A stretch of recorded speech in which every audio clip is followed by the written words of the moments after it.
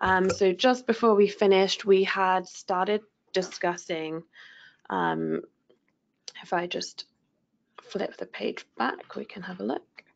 And I'm um, started having a look at what is included in a backup because if you're going to be migrating or upgrading your FME server, you're going to want to take a backup.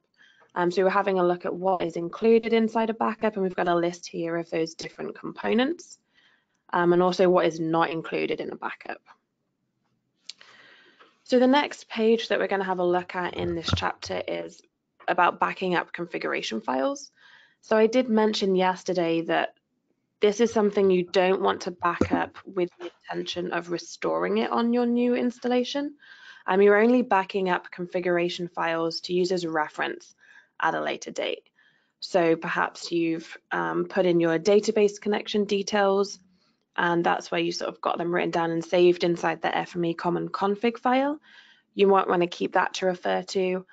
Um, as part of the exercises yesterday, if you managed to get through it, you configured your FME server for HTTPS or SSL.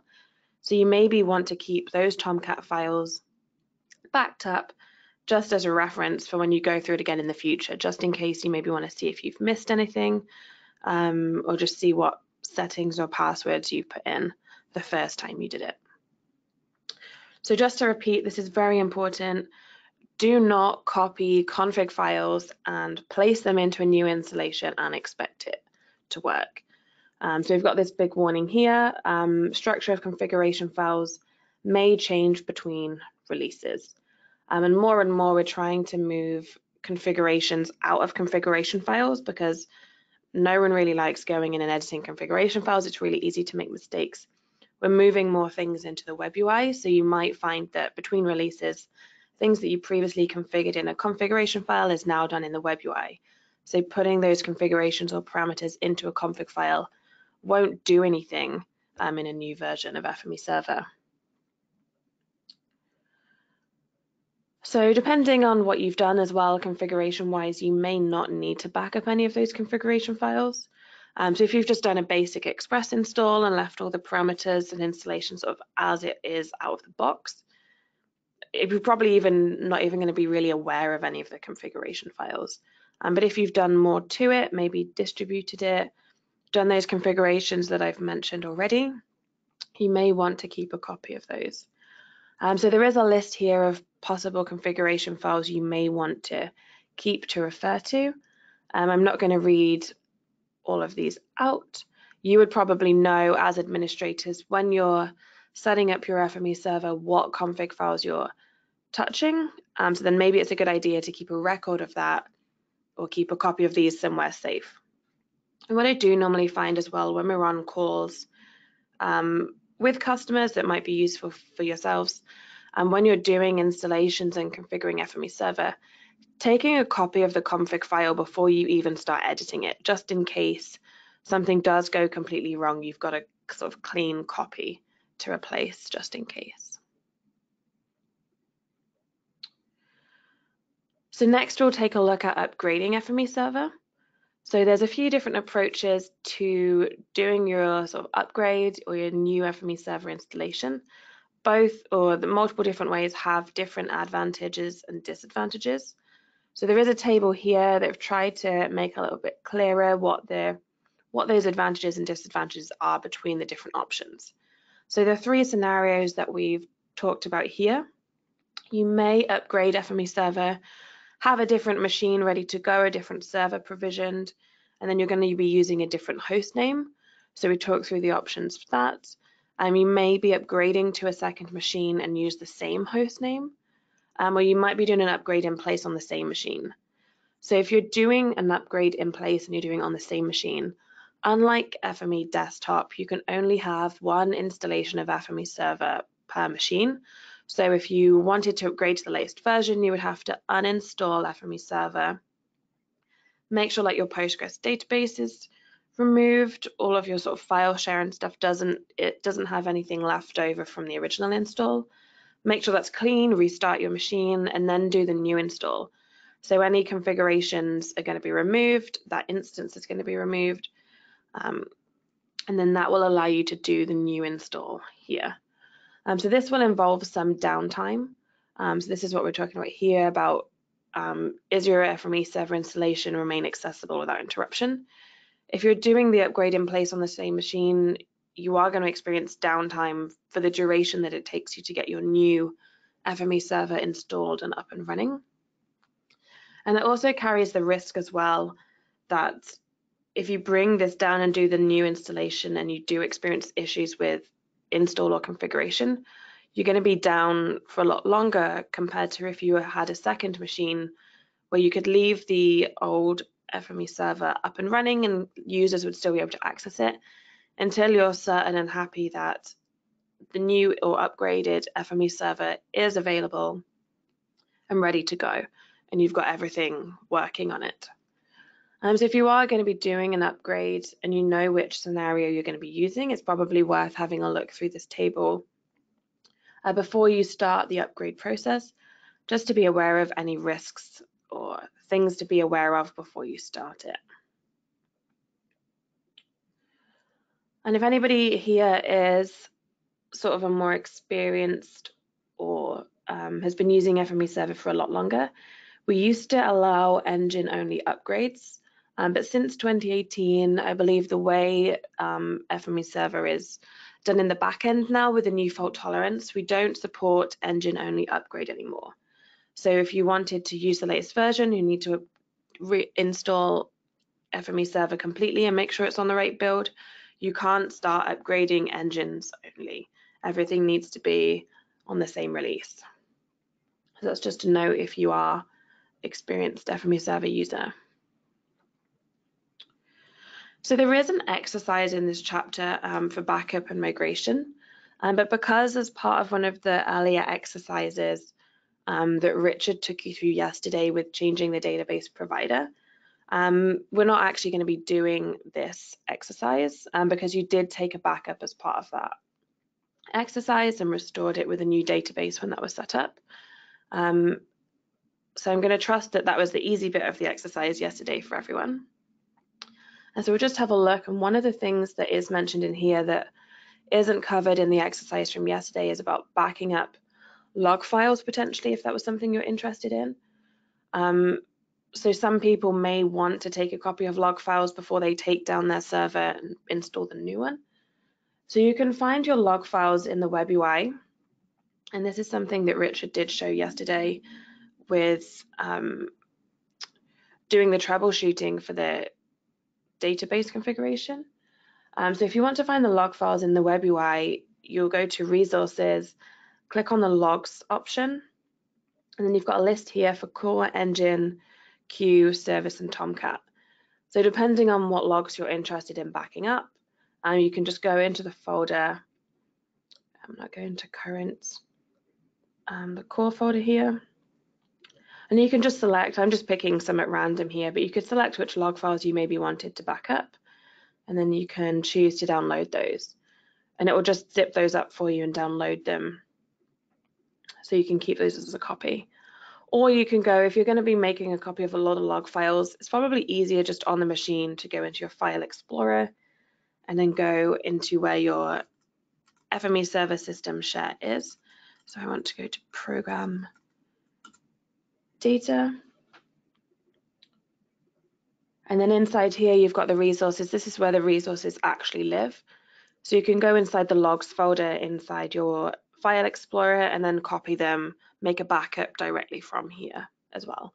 So you've got two different options. And as well through the file explorer is where you would go and copy any configuration files, should you wish to keep a copy of those for reference. So I believe that's the only difference in this exercise compared to doing the backup and restore as part of changing the database provider that you did yesterday.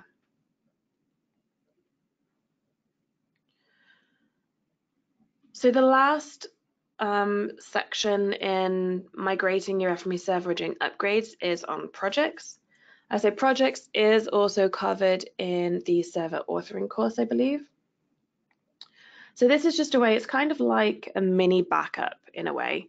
So you can use a project to group together different items or components on FME server that possibly share a common solution or what you would call a project. Um, so you can group these different items together, save them up, and then you can reference them as one easy object. So you can export and import projects to FME server. So if you wanted to move maybe between like development and production machines, if you've got that kind of setup in your organization, you could build all of your things on development, put all of the things that you need into a project, and then export that and import it then on your production machine. Or maybe you're doing an upgrade and you've got two different servers on the go. Maybe you don't want to do a full backup and restore because your server's got a bit messy. There's a lot of things on there that you don't need to carry over. You could just put the things that are important to you inside a project and then migrate those over to the new server. So some of the things that are included inside a project, um, you've got workspaces, custom formats, custom transformers, any templates, any automations now from 2019, repositories, schedules, notifications, resources, um, cleanup tasks, database connections, web connections, users, and you can also include a project inside a project. So you can get a little bit inception in there. So I can show you as well on the left hand side here, you've got projects on the menu bar near the bottom. Uh, so when you click on projects, I don't actually have any on this machine, but you can click on here, you can build a new one and give it a name, give it a description and a readme as well if you want, so you remember and know what's in your project. If you're sharing this project with someone else that maybe needs to get up and running and you need to give them instructions, it's a good idea to include them in the README. Um, and now we have Markdown editors, or oh, I think it's similar to Markdown, maybe not quite Markdown, um, text editors here, so you can make the formatting a little bit nicer. And then when you want to add items to your project, at the bottom you've got this contents dialog. So you can just click on the add items button. And you've got a drop down list of all of the things that you can include inside a project and choose what you want to add basically. So I could just go and add in that samples repository because I know that comes with FME server installs and okay. And you can always come back to a project later and add it, um, edit it and add more things or take things out of your project.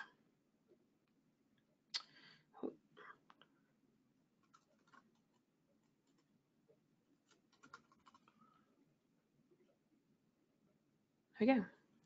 And that project is saved. So if I wanted to export this project now, um, you can just select it and you've got the option up here to export it. And then if you wanted to import a project, if you had one, you can click the import button um, and it will give you some options. You can drag and drop the, it will give you an FS project file when you export a project. You can either upload that here or drag and drop it onto the browser. Um, and then you've got a few different options. You can overwrite existing items. If it's got notification systems in there, like publication subscriptions, you can choose to pause those when they get imported, so you can go and enable them when you're ready. Um, so you've got a few different options there before you do the import. And then as administrators, you might be interested in some history here to see what has been imported or exported from your system. So you can have a look at the task history here, and that will give you that information. And there is also the option to exclude sensitive information. So if you've got things like passwords or web connections inside your workspace, um, it should, when the next person imports that project, they will need to use their own web connection, for example. Um, it's not going to share passwords unless you select that exclude, exclude sensitive information button. Um, so you can migrate projects for other users if you are logged in as a super user or if you're assigned to that FME super user role. Um, so if you can include users in a project, you can back up and restore a project for those users to work on on another system. And any permissions that that user has on the current system will then be granted on the system to which the project is restored, as long, uh, as, long as the permission is on an item in the project Obviously, you can't have permissions on an item that doesn't exist on that new server. And the permission was granted to the user directly rather than through membership in a role. So we're going to touch on roles and users and that in the next chapter, if that isn't quite clear now.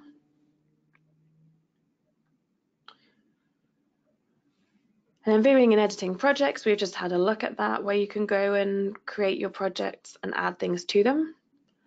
And then now in 2019, what you can do is export your projects to the FME Hub. So if people here are um, familiar with FME desktop and custom transformers, you're probably aware that there are sort of custom transformers that you can download off the FME Hub, and you can also build your own custom transformers to publish up to the Hub um, if you want to share them with other people. So now we've made this available for FME server projects. So I can open this link in a new tab. Um, and you can see here, there's a few projects up there at the moment. Um, this is still fairly new for 2019. Um, so I think some of the experts here have been doing a lot of work with CityWorks. Um, so I'm not too sure what's in this project, but if you're interested in CityWorks, you could go and import this project to your FME server. If you use Azure or Microsoft Graph, you can import those projects. Uh, so basically, if you've done anything interesting or cool that you think would be useful for other people on FME server to use, you can export your project and upload it to FME Hub. And there are a few extra parameters that you will need to set when if you want to export to FME Hub. So you can see here there's an extra dialog box here um, called FME Hub optional. And then you can go in here and you would put in your FME Hub publisher ID. So now if you're putting items on the hub, you should be doing so as a publisher, which is kind of like a name for a group or an organization or a person. Um, you would have a publisher ID, so you would put that in here, and then you would give it a hub project ID, which I believe is just a unique value, kind of like a name. Put that in there, and you can give it an icon as well. So you can see here, you would give it an icon, which is what would appear here. And then once you've done that, you can export it, and then that would allow you to upload it to FME Hub. FME Hub would accept that project. So that's the end of that chapter on migration and upgrades. Uh, so hopefully at the end of that, you're you now know what you can include in a backup. Um, you know how to create a backup and do a restore. Um, you're aware of what projects are and what you can keep on a project, how you would create, export, and import your project. Um, and as well knowing about like log files and configurations if you wanted to make a copy of those for reference in a new install. So now we'll move on to chapter four, which is FME Server User Administration. So at the end of that chapter, we were talking about users and roles, um, now we'll go into a little bit more detail about what we actually mean by that. So FME server security is based on two concepts. So you have users and you have roles. So users will be the individual accounts that access FME server, so everyone here has signed in as the user admin to their FME server. Um, so when FME server is installed, default user accounts are created. Um, so one of those is the admin account that we've signed in as. Here to user accounts. Um, there are others like guest and author, I believe, that you can also sign in as. And then roles are comprised of one or more users. So it's a way of sort of grouping permissions together. So for role-based access, um, this makes it easy to assign the same set of permissions to multiple users, depending on their job function. So perhaps you've got people that um, only need to do specific things on FME server. So you may have a group of people that probably maybe don't know how to use FME desktop. They're never going to be building workspaces but they need to be able to run workspaces. So you might give someone like that FME user or FME guest permissions. As you can see here, those are some of the roles that are available. So they wouldn't have permission to publish workspaces up, do any, do any editing on here. Um, they would actually have a very blank view in here and they would probably just have access to run a workspace and access to any repositories that they need access to. Then sort of like the next level up, you may give someone or make someone part of the FME author role. So this would be someone who is building workspaces, publishing them up to FME server and configuring them so they will run correctly on FME server. And they may also build automations or use the notification system to set up those automated workflows or set workspaces up to run on a schedule. And then the next level up from that would be the FME admin. So these would be able to carry out administration tasks. So maybe they would be configuring job queues. Um, they might be doing anything sort of in this bottom panel, which is most of the things covered in this course. Uh, so for anything for the author, you would probably want to look at the FME server authoring course to see exactly what authors can get up to on FME server. And then the last sort of role on FME server, which is like the most powerful role there is, is the FME super user. So this gives a user unlimited access to the system. Um, you do have to be a super user to do the backup and restore tasks because um, you wouldn't want anybody going and doing that. Um, so they basically have everything an admin can do, but everything. So by default, the admin account that is created with FME server that we're signed in as now is a super user account. So before you assign anyone that super user permission, make sure that you know that they know what they're doing and that you trust them to have that power over your FME server. And I mentioned earlier on install, FME server does create some default accounts. So the admin, uh, which we're familiar with, is assigned the super user in the admin roles. There is also a default author account, a user account, and a guest account, and they've been assigned the roles that match their username. Uh, so you can create any role that you want, or you can create any user that you want as well, and assign different permissions to those roles or to those users. So you can assign a user permissions outside of a role, so they can have both um, types of permissions. And I'll actually have a look in a moment at that user security option so you can see what is possible. Um, so if you wanted to configure this, under the admin section on the left-hand side, you've got security. And then under security, you've got the option for users and for roles. So we can have a look here and click on roles and we can see those roles that we were just discussing. So we can have a look at the user role and compared to, we'll compare it to the super user in a moment and see how many, see what the difference in permissions are. Um, so you can see that an FME user only has access to run a workspace and access jobs. So they'll be able to go in here, run a workspace, and then be able to check the status of the jobs that they've ran on the jobs page. And it looks like scrolling down, that's pretty much it. That's all the FME user can do. So now if we go in and have a look at the super user, um, oh, I don't want to grant that to anyone. I want to have a look at the role, have a look at the admin role. You can go and see here, whereas the user before only had those two selected, um, you can see that the admin now gives all of these permissions here. So you can see that they have a lot more permissions available. And you can click on users as well and see what permissions they've got. So I can click on an author role. And you can see it's got that same sort of security dialog permissions view, so where you can see what they do have permission to do on here.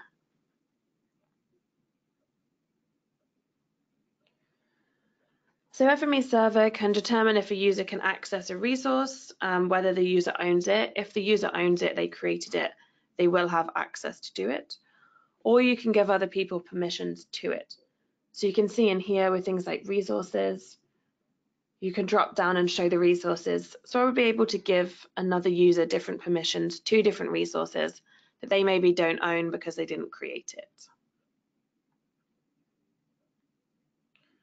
Um, so, yep, so even though a user is, if I go back and click on the author role here, or the author user, sorry, um, even though they've been assigned the FME author role, um, I could give them additional permissions, like administrator permissions. Um, so I could give them things like being able to manage engines and licensing.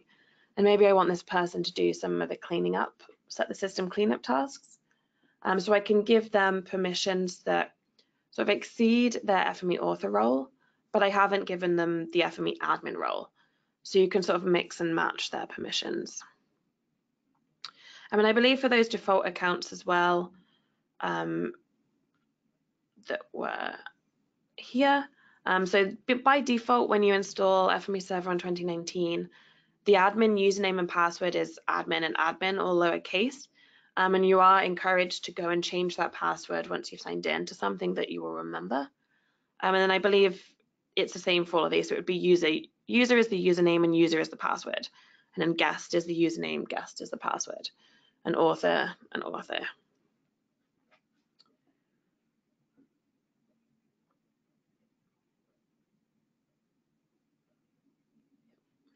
And you can also configure uh, permissions on items as well.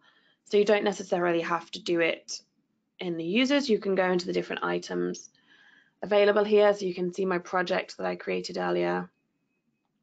And if you wanted to share that with users, so they would have permission to um, either sort of view, edit, or access it, I can go and choose who I would want to share that with, depending on what users I've got in my system and you could share it that way.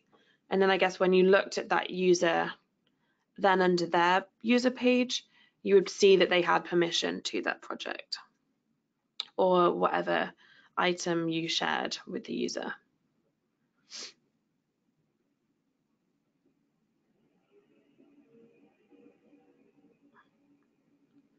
So security policies, um, we've kind of had a bit of a look at that on this page. This is what these all mean.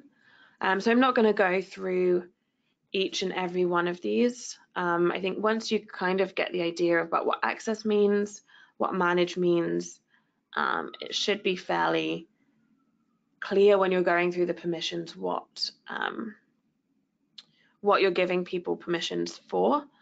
Um, so where you see this access thing here on first column, um, this means that they'll be able to see it in their sidebar here and have access to it. So for example, the user account or the, yeah, the FME user account that we had a look at only had access checked for run workspace and jobs. So if we signed in with that user account, they wouldn't see automation schedules, repositories, etc. All they would see on their sidebar would be run workspace and jobs because that's all they have access to. And if you gave someone permission to access something but not manage or create, they would be able to see it and go in here. But if they try to do anything, if the links were available, it should bring them to a screen that tells them that they don't have permission and to contact their FME server administrator to get those permissions if they need them. So the create permission allows the person to create items. So for example, they would then be able to create an automation um, and things like manage for jobs, for example, if a user has access permission to jobs but not manage, they'll be able to go in there and see their own jobs and see their own job history and what if their jobs are in the queue. If they've got manage access, they'll be able to see all jobs on the system, depending on whatever user submitted them. They would be able to have a full view of like what's currently queued, what's currently running, and what jobs have been ran. Um, so if there is anything specific that you're interested in the permissions for, I would say check out the documentation. Um, and some of these have drop downs, things like resources. Where there's multiple folders, you can go and assign more granular permissions depending on the folder in there.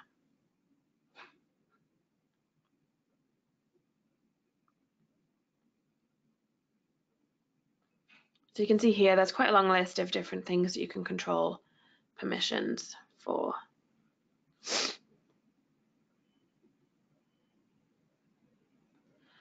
So now we've got an exercise here, um, which is exercise five. Uh, so this time we're going to have a go at creating a new user. Um, and they're going to, we're going to make sure that they have limited privileges here. So they're not going to have the full access that we have that you can see here. Uh, so in this scenario, com your company has recently hired a new analyst who's going to need access to FME server, but they don't quite fit into the current FME server roles that we have in place. So those FME author, FME admin, etc. roles. So we're going to need to create a new role for them. So the first part of our exercise, if you haven't already got your virtual machine up and running um, and open, um, I would say do that. And then you'll need to connect to your FME server. So I haven't configured this for HTTPS or SSL. Um, so I've just put in here to access FME server, just type in localhost with a forward slash, and that would take me to FME server. If you did manage to get through the HTTPS SSL exercise yesterday, you may need to put HTTPS in front of here. Um, and then go to localhost. And that, that's not going to work for me. Um, but if you're having trouble accessing your machine, let us know in the questions. And as well, if there is anything that you wanted to go over later on in the training course at the end, if we've got time for either general questions or things from yesterday that you sort of had time to think about overnight, do let us know and we'll cover those off later on. And also you want to be signing in using the admin admin username and password. So This time under security, it wants us to click on that and then select users and we should see a list of current users. So at the moment your FME server should look like mine and there should just be four users in here. Um, and now we're going to create a new user. So at the top corner here we've got a button that says new. You can select that.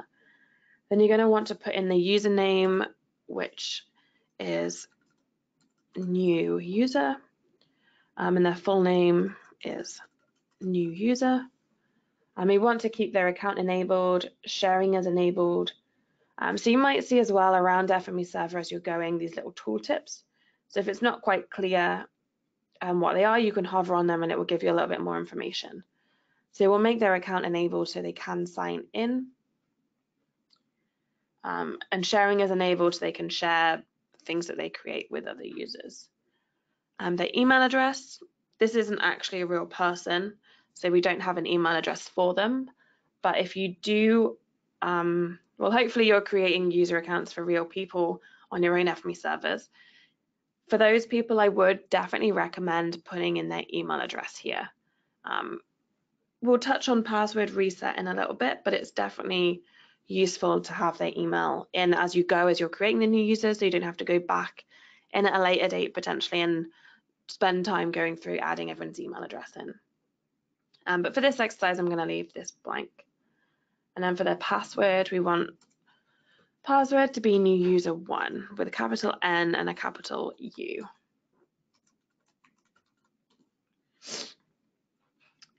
And it hasn't asked us to configure any assigned security roles yet.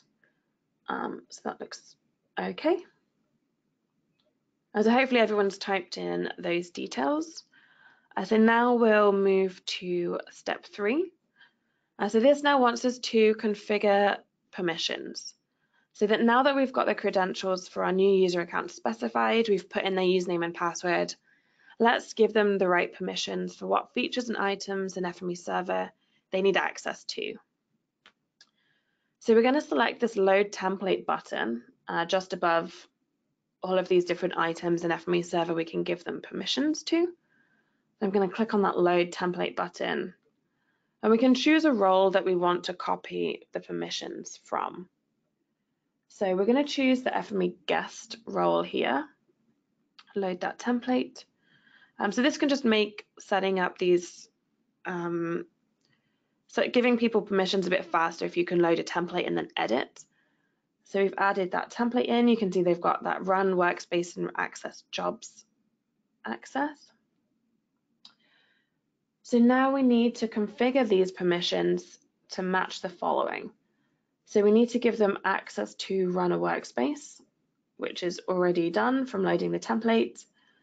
We need to give them access to the jobs, which again is also already done from loading in that template. And we want to give them permission to create schedules, so I'll select that one. And you can see it automatically gives them access permissions as well as create because they won't be able to create a schedule if they don't have access to schedules in here. And then we want to give them permission to create repositories as well. So I'll select that one and create projects. There we go. So hopefully if you're following along, your security permissions here on the right hand side look the same. Um, so you should have run workspace um, and jobs with access permissions, schedules, repositories, and projects with create permissions. So now we can scroll to the bottom and press OK to create that user. And you can see that they're now listed in here. So now we should test this user account to make sure that those settings have been honored. So we're going to sign out here. So to sign out, you're just going to click on that sort of user icon at the top right hand corner of the FME server web interface and then click log out. And then this time, instead of signing in as our admin account, we're going to sign in as that new user. So the username is new user with a capital N or a capital U, or however you spout it when you typed it in there. And then the password we gave it is new user one. And that should let me log in. And you can see now that the permissions that we gave it are all available here on that left-hand sidebar. So they only have permission to run a workspace, jobs, schedules, repositories, and projects. So that looks good. So we're ready, we can give that account to the new user. So actually now I'm gonna sign back out again and log back in as that admin account. Otherwise we're not gonna get very far in this training course with those permissions. There we go. And so it is possible to run services without authentication. Um, so there is a special account referred to as a trusted user account uh, which can be used to provide unauthenticated access to any component of FME server. So by default, this trusted account is named guest and is assigned to the FME guest role. Um, so by default, that, that FME guest role is configured to allow unauthenticated access to the FME server web services, uh, which means it's possible to sort of run a service URL without providing any credentials. So what we mean by that is um, running a running a job or running a workspace. So we can go in here, I'll just choose one of the samples to kind of show you what we mean. Um, pick Austin Apartments.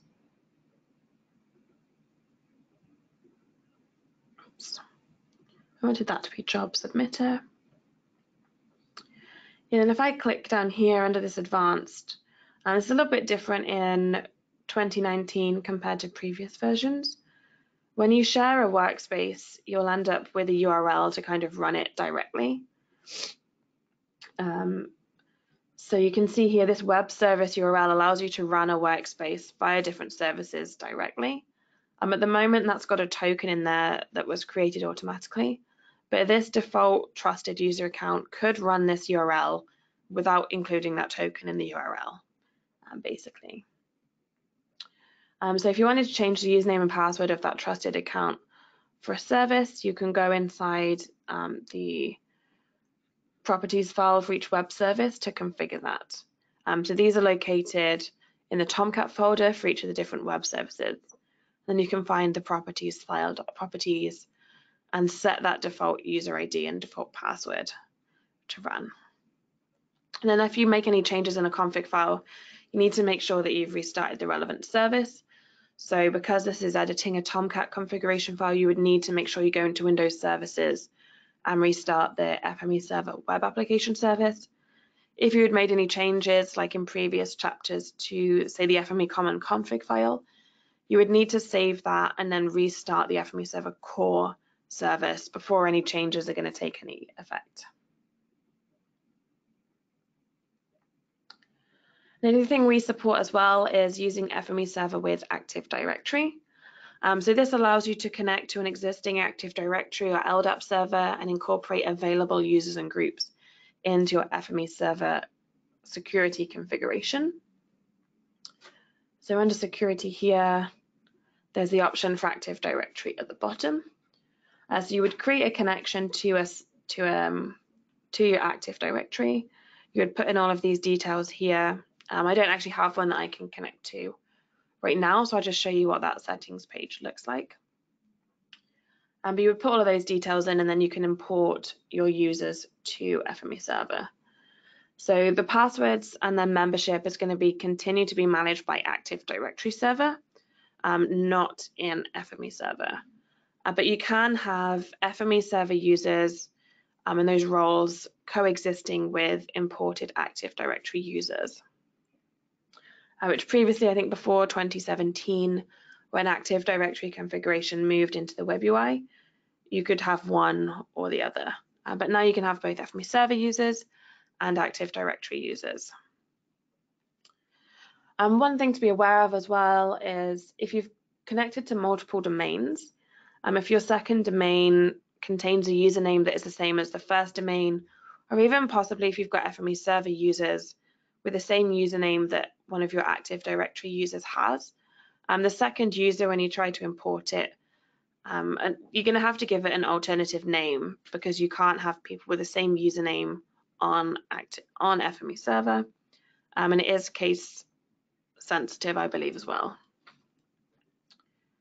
Um, and while you can import Active Directory roles, you can't modify membership in FME server.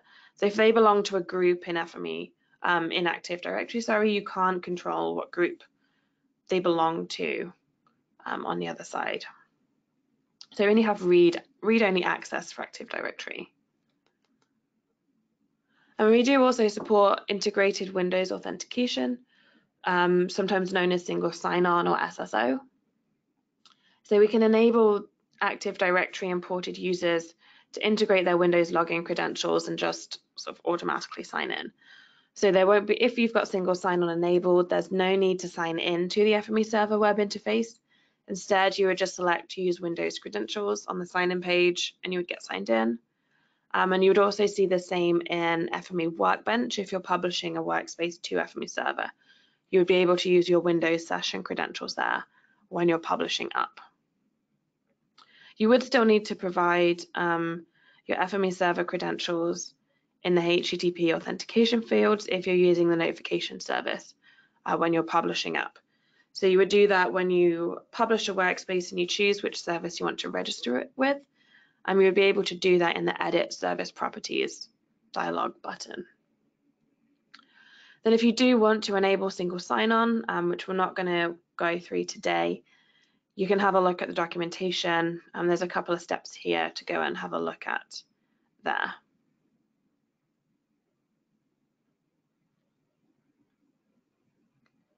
Okay.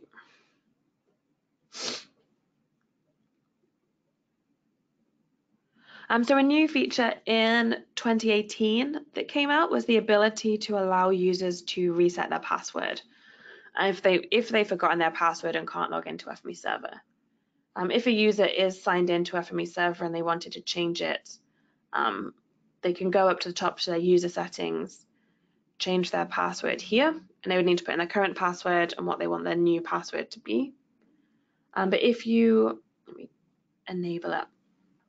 And if you're trying to sign in to FME server and they've forgotten their password, if you've enabled password reset, they would be able to get an email that gives them a link to go and prompt in to generate their new password.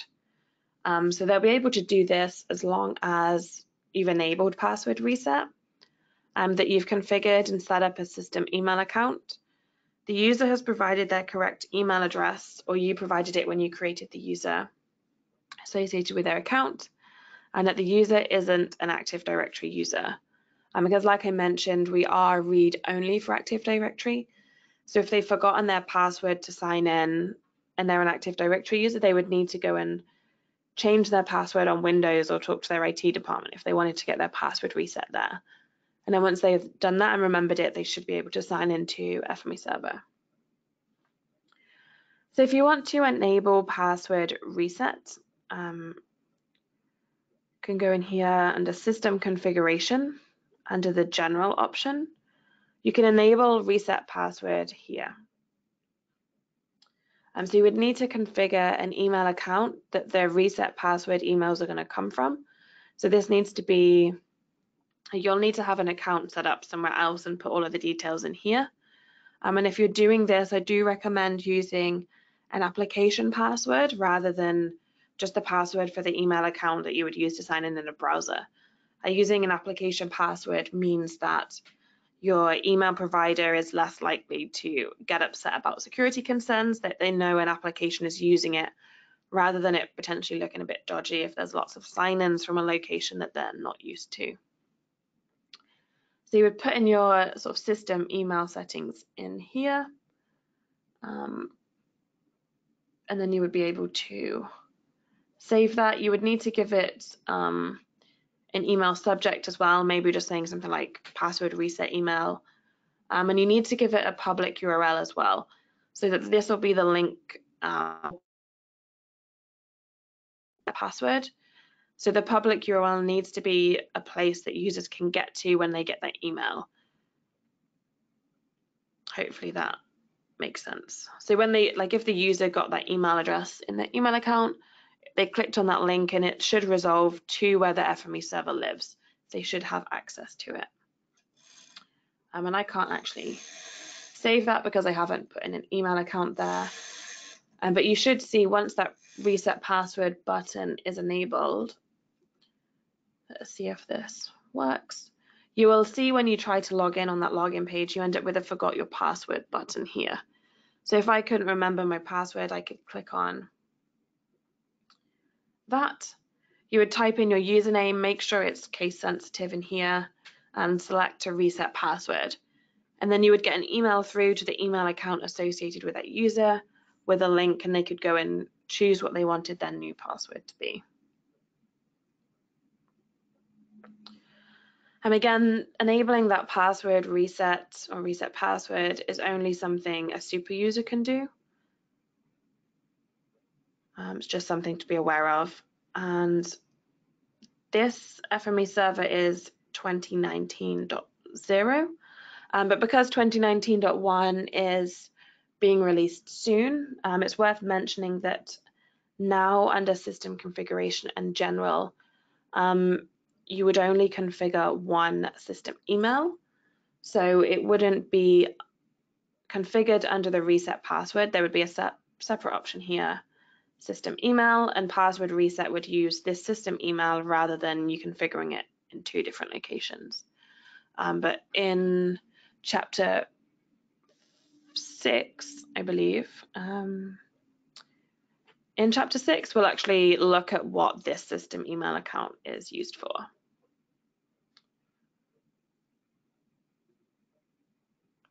So password management as well. So in 2019, we added in the ability to enable a password policy. So again, this is on the same page under system configuration general. You've got password policy here, so I can toggle that to turn it on. Um, so if you wanted to make sure that users are putting in more secure passwords, you can set some rules up around that. So you can set minimum characters for a password, um, must not contain the username, must contain uppercase letter, lowercase letter, a digit or a special character. So I can save this, well that's already, by default all of those are turned on. I could turn these on and off as I wanted. So now if I wanted to reset my password, um, because we're currently just signed in as the admin user and the password is admin, I would need to put my current password in here and you can see for the new password, now I've enabled that policy it's given me a list of all of the rules I must adhere to when I'm creating my new password. Um, so I need to make sure it's compliant with that. But if I don't change my password, I'm still okay to sign in with the password I had before. You would only get prompted after turning on password policy if you went to change your password or reset your password.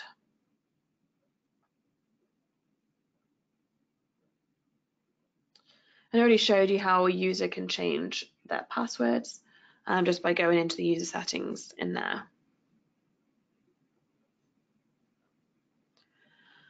And then another feature that's new in 2019 is this concept of token management.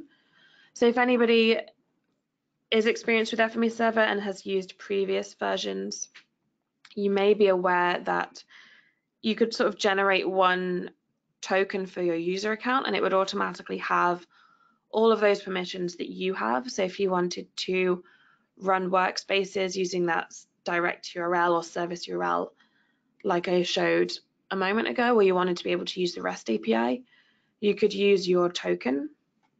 Uh, but now with 2019, so your token isn't being used maybe in multiple places and has all of your permissions, you can you can create multiple tokens now per user and each user is able to manage their own tokens.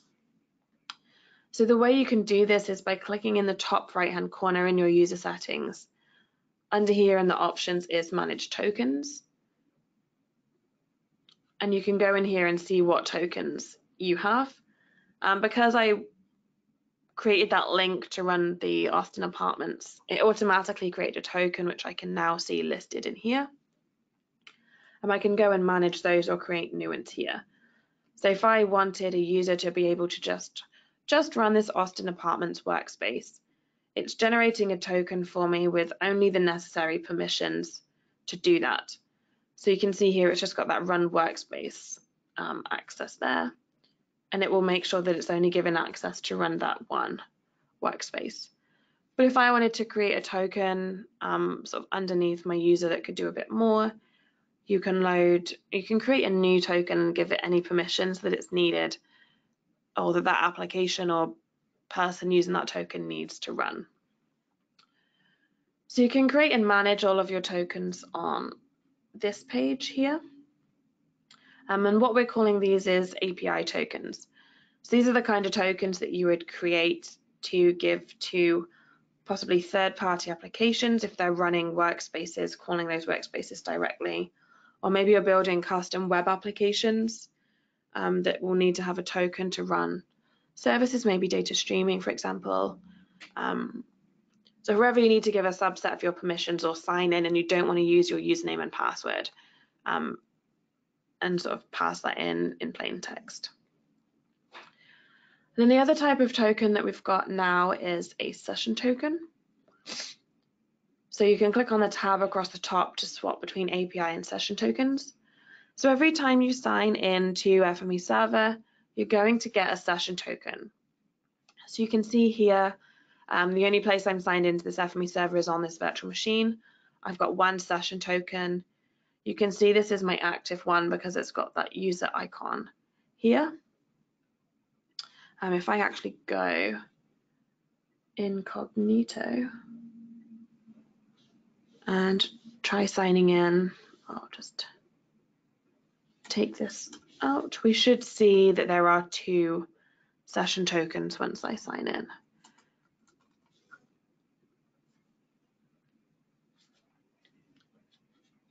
Now I'll click my user settings, go to manage tokens, session tokens.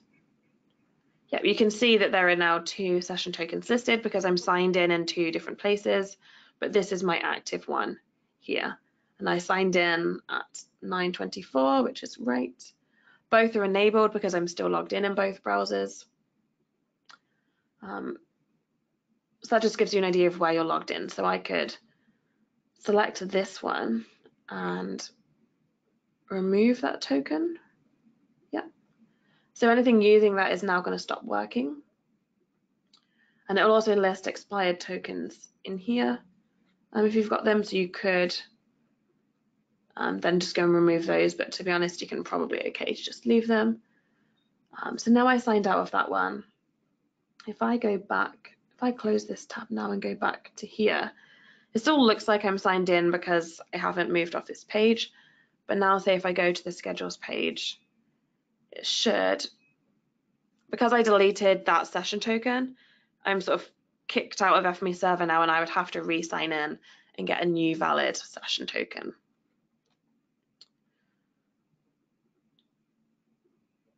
And the other thing to be aware of as well with API tokens is that the only time that that token value is sort of available um, will be when you create it and get that URL. Um, for 2019.1, when you create a token, it will give you the option to download it as a text file. Um, so sometimes it's a bit similar to security with Amazon S3 and those services. If anyone's familiar with those. Of when you create your security credentials, gives you the option to download them as like I think it's like a CSV or an Excel or a text file and you keep those safe and it doesn't store those for you to go and look up anywhere in their Amazon console. Uh, so in 19.1 this will be done in a similar way. When you generate your token it will sort of show it you once but you won't be able to go and look up the token by its value. You'll be able to look up and configure it by the token name instead. So if you're creating these API tokens, I would definitely recommend giving them good names and good descriptions so that you can go and manage those again afterwards. So that is the end of chapter five, uh, chapter four, sorry. Uh, so hopefully from this chapter, you're now familiar what users and roles are, how you can configure and sort of add new users and assign their permissions, um, share different items in FME server, how you can turn on password reset and turn on a password policy, and you now know about the new tokens in FME server 2019. Jump right into performance. Um, so there's two ways you can increase performance. You can add more engines or you can make it more efficient. So the first one is adding uh, engines to an existing machine. That part's pretty easy. Uh, you just up it on the web UI. I'll go down here and show you. Done this before. Uh, so you just up the number and you'll get more engines. Uh, but you do have to pay attention to what you have in terms of hardware. Um, general rule of thumb is one CPU core per engine. That's going to get your, your most beneficial or optimized workflows. Um, if you go beyond that, you're going to see some degradation, so uh, or slowing down. So good to know what your capabilities are.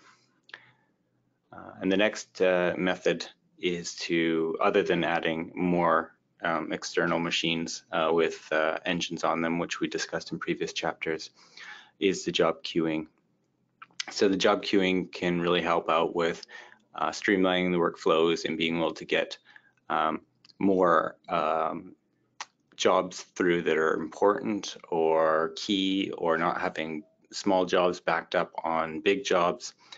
So there's several main reasons. One is keep the data close to where your um, source is. So it's uh, less network traffic there, makes it quicker.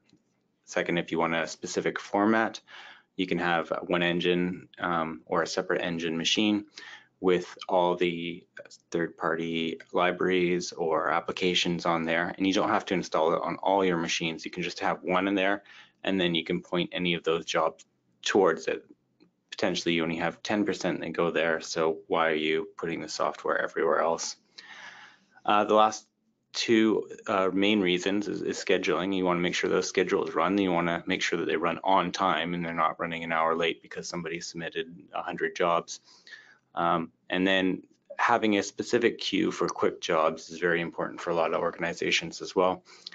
That way you can always assure that you're going to have a job come through or, or, or be processed fairly quickly rather than, again, backed up behind one of these big jobs.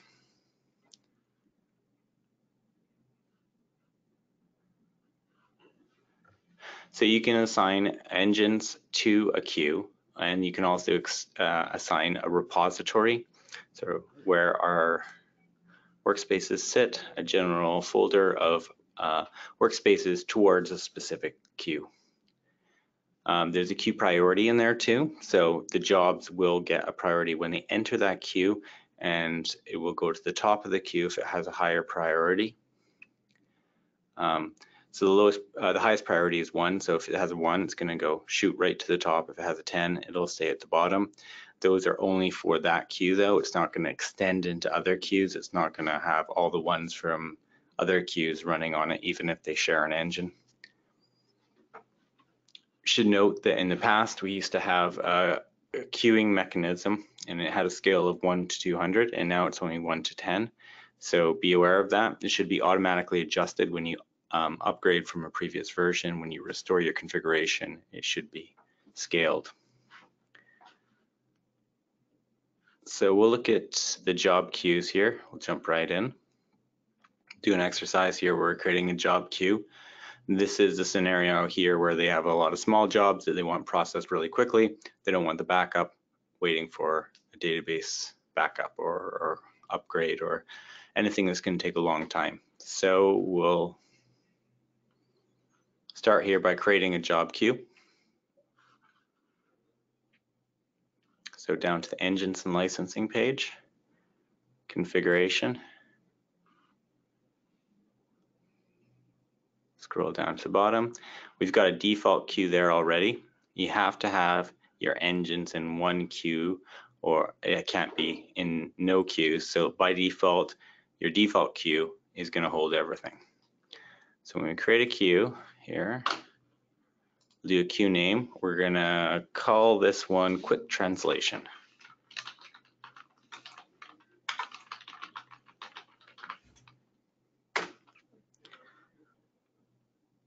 and we have no engines in the queue, we have no repositories, and we've got a default value of five. So we can assign some engines in there, and we see that uh, we have six engines on this. We upped the number previously, although the web UI is not showing. Reverted back. Um, so these are the engines that did exist at a certain time. So they, they have appeared on there in case we weren't going to scale back up. So we'll just move it back up to the number that we want. And then we can pick one of those engines from here by just editing the queue and you'll see it transfer over. So go engine, we'll just start with engine two, let's say. Um, We've got a priority of five there. Um, and then in the description, uh, let's call this quick translation for small jobs or quick jobs. And we won't bother with a repository for this one. And we'll save it. Now we have a new engine here, our new uh, queue. We'll go into FME workspace. We'll create a, um, a new workspace here to publish up. It's all it's going to be as a creator. It's just something to run and it's going to run quickly. So let's minimize our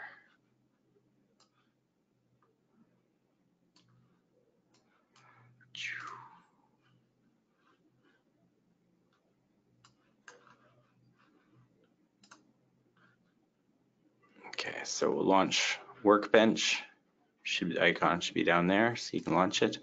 Create a new workspace. Add a creator.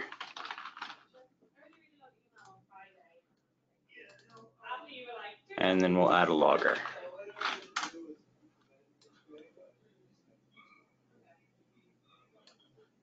We're going to publish this back up.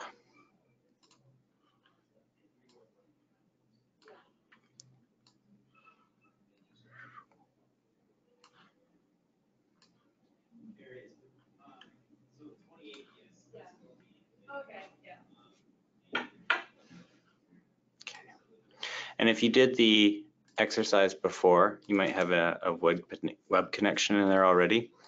And if you did the HTTPS uh, configuration, we have to make sure that we pay attention to that. So the easiest thing to do is grab it from the browser after launching it, but you can just type it into so localhost.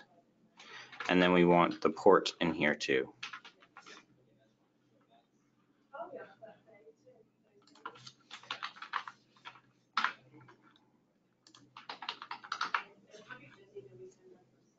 We'll authenticate, see if it works. Seems to be fine. Move forward. Uh, let's create a new repository here. We'll call it uh, training.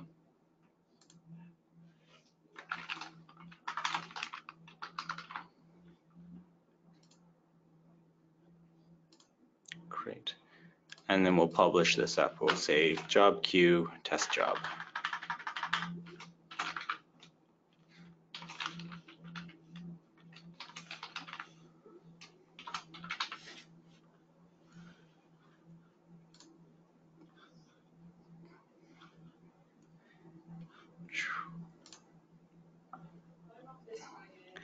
So we want to put it, um, register it with the job submitter service. All we're looking to do is run it.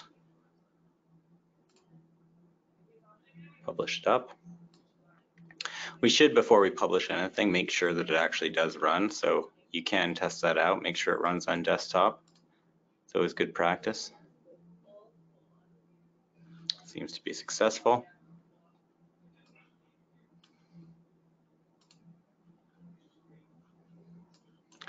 We'll launch the web UI again. And now we're going to assign um, and run the job queue. So go up to the top, run our workspace. We've got uh, our new training repository, and in there we have our job queue under job submitter service. We'll click on the advanced button here. And here you'll see a job queue. Um, there's also a few more parameters here that you can use to control. If you have jobs that are going to, you, you want to be resubmitted or you want to cancel out of the queue after a certain amount of time, or a job running time, in case you find a job that sometimes gets caught up by uh, a break in network traffic or something that's happening on the other end, and this is a frequent occurrence, you can have a job expiry time on that. For now, we're just going to pick the new queue that we created. And we're going to run it.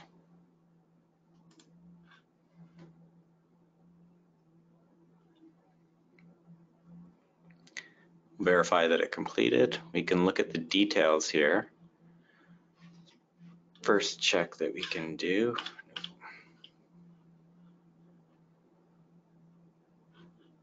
And we want to do the transformation.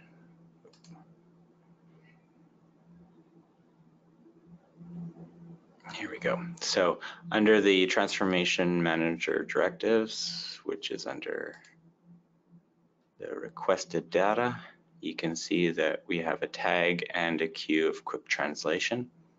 So you can use the tags which equate to the queues uh, if you're running it from um, a third-party application or web application and you want to use the REST API. So that looks good. The other place to check to see where your jobs have run is um, through the completed jobs. So by default, I'm just going to expand this out.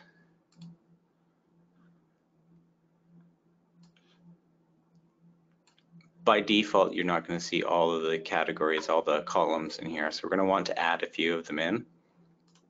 So if you go customize columns, we're going to take the engine, we're going to move it across into the displayed columns, and we're going to take the queue and move that across as well. And now we can see that it ran under the quick translation uh, queue and it ran on the engine that we wanted to. So that's good verification in the end of where your jobs are running.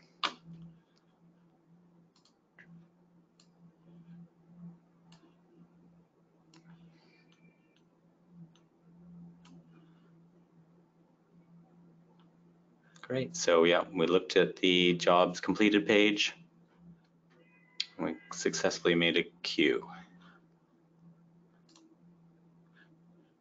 So, and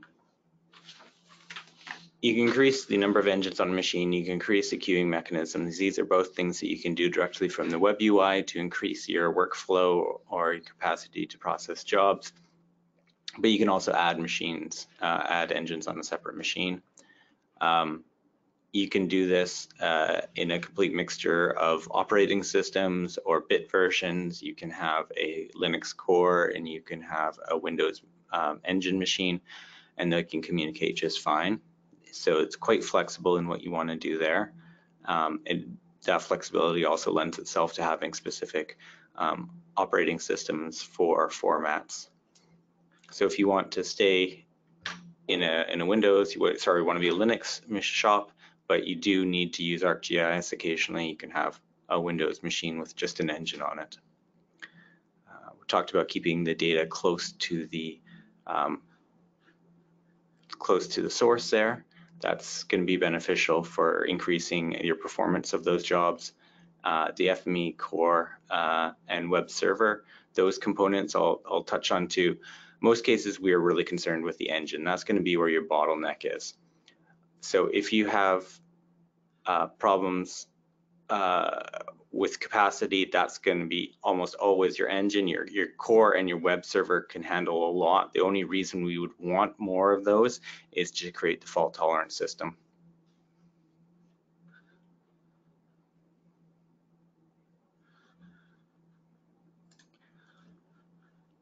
All right. We'll move on to versioning.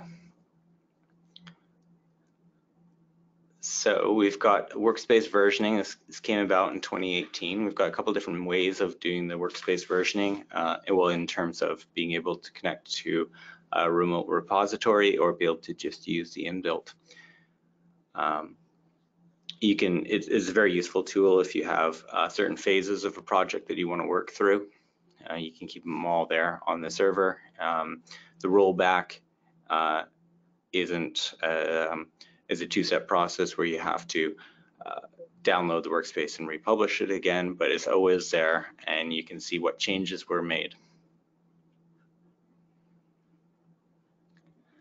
So the version control, again, sits down the bottom under our system configuration, our general, we've got our version control.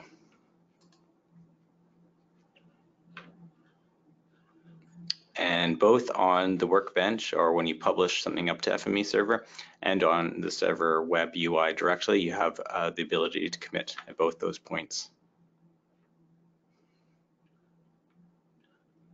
So here's an example of where we're publishing it. You can see the commit button right there. You can add in the version, you can add in um, some more comments about it. Uh, at any point to or once it's up on server, then you can add an version as well. You do have, again, the ability to use a remote Git repository if you want to.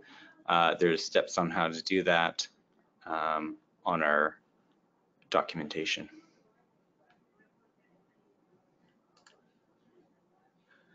So we'll hop into uh, versioning a workspace right So instead of having an organization try to backtrack, find out where they were uh, change the workspaces, what version, what happened. We want to move back to something that was working well for us previously.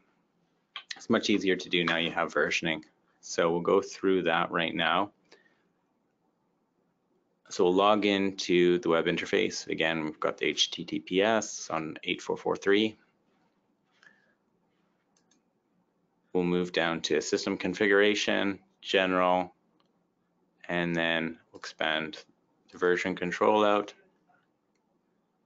and turn it on. We're not going to worry about a remote repository or a token associated with right, that right now. We're just going to turn on the default version control. I'm Going to head back to Workbench. And we can use the same workspace that we had before. Maybe this time we're just gonna have a creator and no logger, so we can just delete that one out. So we've got a super simple workspace. Run it.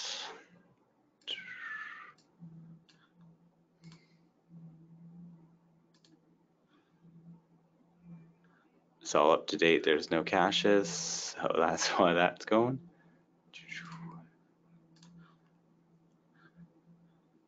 So it was successful. We always want to test it before publishing to server. So we have our uh, web connection in there already.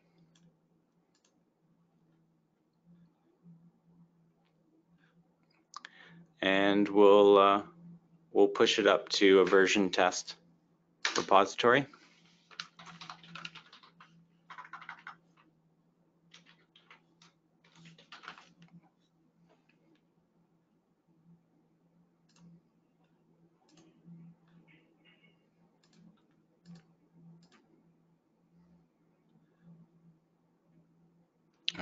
Call this one version control test.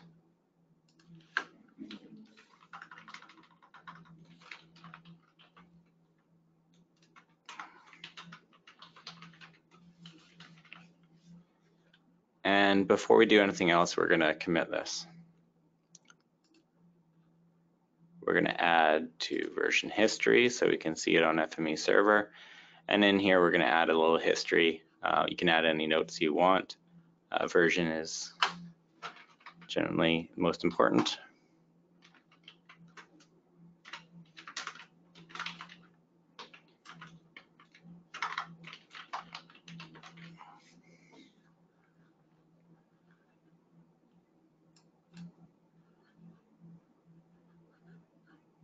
All right, so now that should be committed. Uh, we can continue with the publishing of it.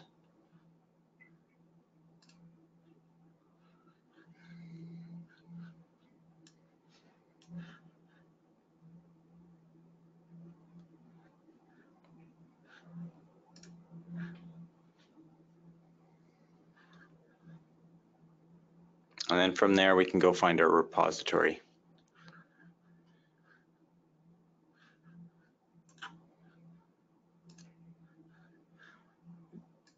Sorry.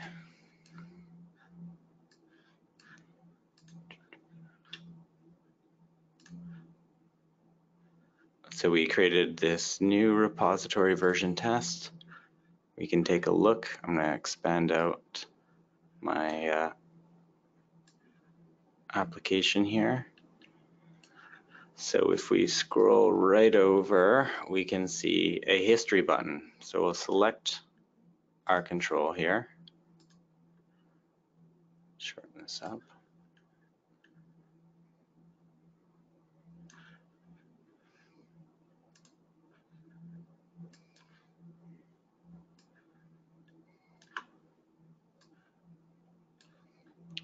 Look at our history.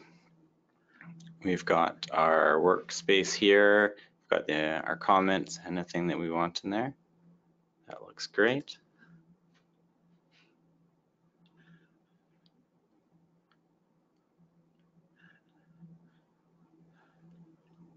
So from there, if you wanted to download that version, what you can do is download it directly from there. We've already got it open. We don't necessarily need to do that.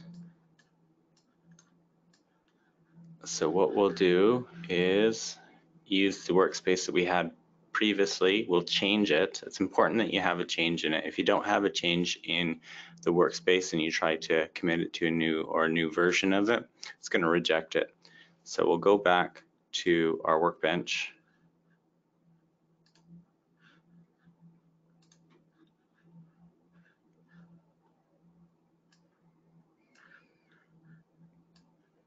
We'll add something in there. Let's add a logger.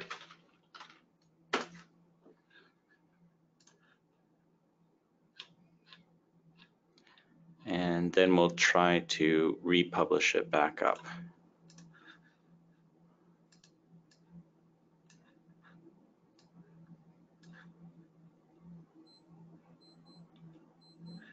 So we're going to edit and republish the same workspace.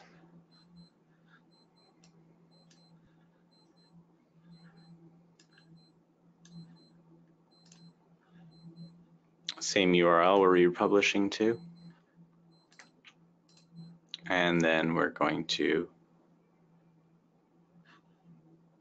not commit it this time. We're going to commit it once we get to FME server so we can select the workspace we had previously. That's going to change the name of it.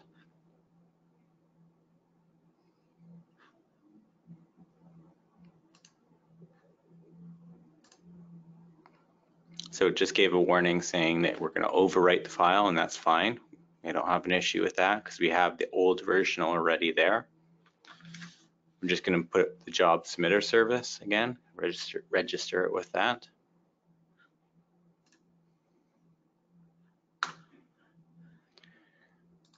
and we'll go back to our repository, version test, click on the workspace, and look at the history. So we just have the original history in there. So let's take this one here that we just republished. You can see we just republished this one. This isn't the original now. We can see that it was altered by my publishing event. Let's commit this one.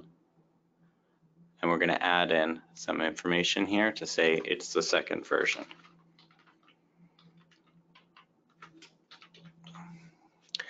So with FME Server 2019, you can have some system events that, that get triggered. So anytime anyone uploads um, a new workspace or replaces a workspace, it can send off and you can have a process that will send off a notification to an administrator or someone in charge of that group of workspaces who can then go in there and update this versioning.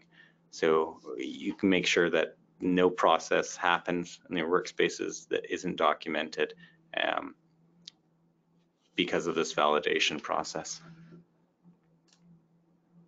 We'll commit that and we'll go back to version test.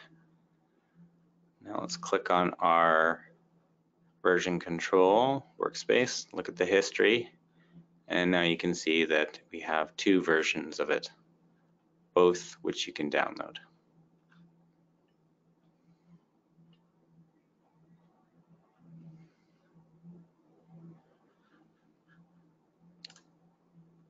So again, you have to make sure that your workspace differs if you're going to create a new version of it, otherwise it will reject it. Um, we should have learned how to enable version control here, um, controlled it from Workbench during the publishing process, controlled it after publishing it, and uh, we can see how we can download and republish old versions. So we looked at job queues, we looked at adding engines to existing machines, we added engines to new machines, we looked at those for expanding or improving performance. Uh, we looked at job routing um, and prioritization within that job routing as well. And these these combined, I mean, the first step is always to make sure that your workflow is not holding anything up. So job routing first, then add some engines on some machines, and then expand out to new machines. So there's a lot you can do before you really have to expand or spend any more money. Chapter or chapter six to go through um, before we get to a brief section on troubleshooting and the wrap up, just to finish off this FME server administration training course. Um, so this last second to last chapter, chapter six, is about customization and monitoring of FME server. Uh, so the first thing we're going to have a look at in this chapter is FME server dashboards. Um, so this dashboards panel is used to display reports that can show the general health of FME server in your installation. Um, so we actually have five reports by default that come with FME server. You can um, additionally create your own if you're interested. Um, and these dashboards that we give you by default are failures by workspace, daily total running time, daily averaged queue time, daily total jobs, and the average running time. So these just show you some statistics based on like jobs that are running on your FME server. Um, and you can see in the training manual here, um, these appear as simple, they're, they're static HTML files. Um, so clicking on any of the links to any of these dashboards, if you've got them enabled, will open up this sort of HTML file in your browser inside the FME server window and display that report. So this is just one example of the job report. Daily total jobs ran on an FME server, and it will show you like which days the jobs had ran. You can hover around the different points and it will give you the value for that day. Uh, so where you can find dashboards in the server web interface is on the left hand side at the very bottom um, of that top section in the menu bar, you can click on dashboards. Um, and in the beginning, they need to be configured to start running. Um, you do have a link, this takes you to a FME server documentation about dashboards and getting uh, started with them. So there's a link here um, that gives you a bit of information about what dashboards you can expect to see uh, when you turn this on. Um, and the way you enable this is it you set a workspace to run on a schedule or you can run it manually, um, which is a job history statistics gathering workspace. Um, so all of these dashboards are behind the scenes powered by FME workspaces. So the job history statistics gathering just basically goes into the FME server backend, pulls all the information out that it needs and writes it locally, I believe. And then from that workspace running, it's set up using the notification service. So the other workspaces will run to generate the dashboard reports.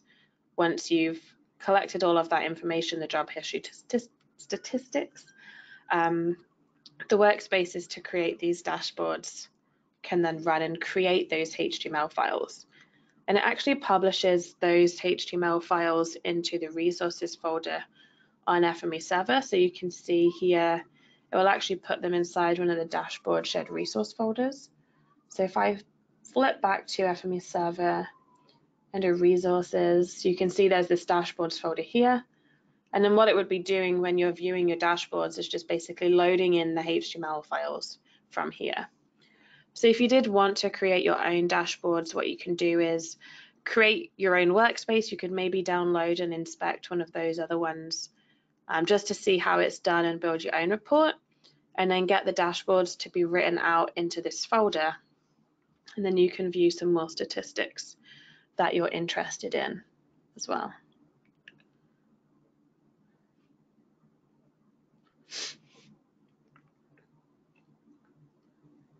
Yep, so there's just some steps here as well in this training manual on how you can get your dashboard panel working and how you can update those. Um, so you can either follow the steps in here or you can, if you're interested in setting this up on your own FME server, you could do this. Um, you could use the documentation to set that up. Uh, so by default, I think it comes with a schedule. Let's have a look inside the schedules section on FME server. Yeah, so by default, the installation will come with two schedules. I mean, here one is for doing backup configuration, so you could set this to run. By default, it's set to once a day. You could go in there and edit this and change it. And as well, the dashboard statistics gathering schedule, you can go in here. Um, you could, if you wanted it more or less frequently, you could choose the repeat interval, um, and you could set this up to enable it. Um, one thing you would need to make sure of or something to be aware of is if you have configured your server for HTTPS or SSL um, and you've set this verify SSL certificates to yes, if you're using a self-signed certificate, there's a good chance that the HTTP caller, which is inside the workspace, the job history statistics gathering workspace, won't be able to verify your SSL certificate because you signed it yourself. It wasn't signed by a certificate authority um, yeah, that workspace may fail and you won't get any dashboards. So I would just set that to no in that in that instance, um, unless you do have a certificate that's been issued and signed by a trusted certificate authority. Um, so I can press OK here. There's one of the other useful things in 2019 actually that's probably worth mentioning here is say you had this dashboard statistics gathering schedule set up to run once a day. I'll just turn that on um, at the moment. Um, but say this is set to run at midnight and I actually, I'm impatient and I want to be able to see my dashboards as of right now. You could select this and trigger that schedule. And it basically means it's going to kick that process off running now manually and it'll still keep running at midnight every day. I haven't had to interfere with my schedule timing to change that. So that's a useful little feature um, that's in 2019 now.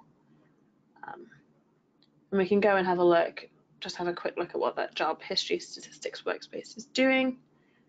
Uh, so wait for that. Takes it a while to load for the first time you load the workspace viewer in here.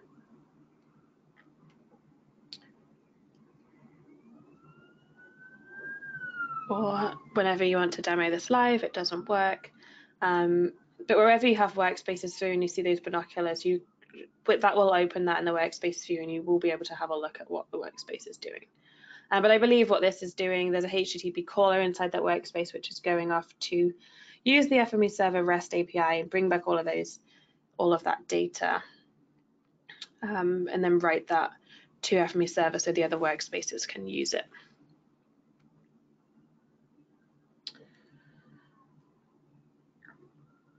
So that the next thing we'll have a look at, I did briefly mention system email earlier.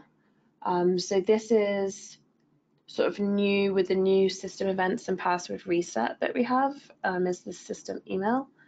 So in 2019.1, as I mentioned, you'll basically have one place to configure system email, which is here.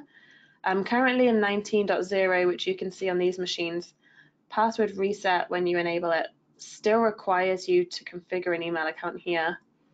Um, so now in 2019.1 and hopefully going forward, you'll only have to do it in the one place, which will be the system email part here. So what this system email account is used for is system events, um, which we'll actually get to on the next page.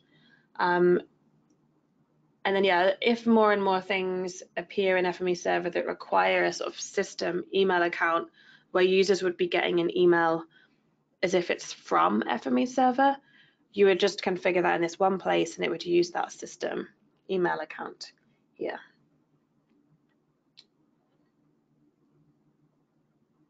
So I can explain what system events are. Richard did briefly mention or sort of hint at system events when he was talking about workspace versioning. Uh, so in 2019.0, we've added system events to FME server, and this makes it able to publish messages about significant events related to administrative tasks, and these are the system events. So by default, when you're configuring your system events, um, you can set the notification up to be an email, and it will be sending that email from your system email account, which you've configured here. So you can get access system events at the bottom here under the admin panel, and I'll just click on configurations. Then you can see we've got a list here of available system events. Uh, what we've got, and you can see them all listed in the web UI here. Um, there might have been a couple of new ones added for one off the top of my head, I couldn't say. Um, but you can see there's things like database connections. Um, there's also ones for um, like repository items, if it's created, deleted, updated, um, you've got new users as well, if users are created, updated or deleted. If there are any warnings in your FME server logs or any errors in your FME server logs, you can see those up here. You can have a system event when your FME server starts up and turns on. So all of these different events here are enabled by default when you install FME Server 2019. You can go and disable them if you're not interested in knowing when these things happen. Um, but what you can do is, if I wanted to be alerted every time there was an error in my FME server logs, if I've configured my system email, I can enable this send email notifications, and then I'll choose who I want to send an email to when there are errors in the logs. Um, give it an email subject, if I want to write my email in HTML or text, and what I want the body of that email to be. Um, and now in 2019 as well, we have this text editor view for things. Um, similar to in Workbench, if you wanted to edit parameters, you could bring up the text editor box. You can do the same now in the server UI. So if I wanted to add some information about that system event, maybe say what the error is, um, I could include that in my email body. Oops. So you can do this for as many um, system events as you want. You would just go in and each one once you click on it, you can enable that send email notifications and fill in all of the details here. So if you want to monitor your system events as well, um, you want to see what's been going on, because they're all enabled by default, you maybe don't want to receive email notifications for all of them, but you might want to just go and check in to see what's going on on your server. You can click on the history tab on the top right, um, and then you can see everything that's been going on on this server. So you can see from the exercise that we did in the previous chapter where we created that new user, you can see that that's been recorded as a system event. You can see all of the logins that I've done on this server. You can see when my VM turned on, 15th of June. That's when we started it. Um, errors in the log file. And so it just basically allows you to go through and see sort of what has been going on on your system and what's being recorded based on what you have enabled in your system events. So hopefully most of the people on this training course have attended an FME World Tour event or have been to um, have watched one of our webinars. Uh, so just by show of hands, if you haven't, um, so if you haven't been to a World Tour or watched one of our 2019 unveiling webinars, do you want to just raise your hand? I can see if there's anybody that's missed that. Okay, there's a few people. Um, so hopefully all the others that have attended webinars and or World Tour events have seen this feature already, but it's a pretty pretty exciting one for 2019 if you're an FME server user as well as administrator. Um, so we have automations now. So previously we had the notification service, which allowed you to sort of start to automate your workflows, watch for things to happen either in or outside of FME server, and then do something based on that. So for example, you could have a directory watch, and when something appeared in a directory, that would then start a workspace running. And then maybe when that had succeeded or failed, you could connect that to a subscription, which would send an email out afterwards. Um, but doing that in the notification service wasn't the easiest. It can be a bit time consuming and it take a little while to get your head around it. So now in 2019, we've added automations. So what this allows you to do is set up a trigger. Um, so basically FME server will watch for something to happen.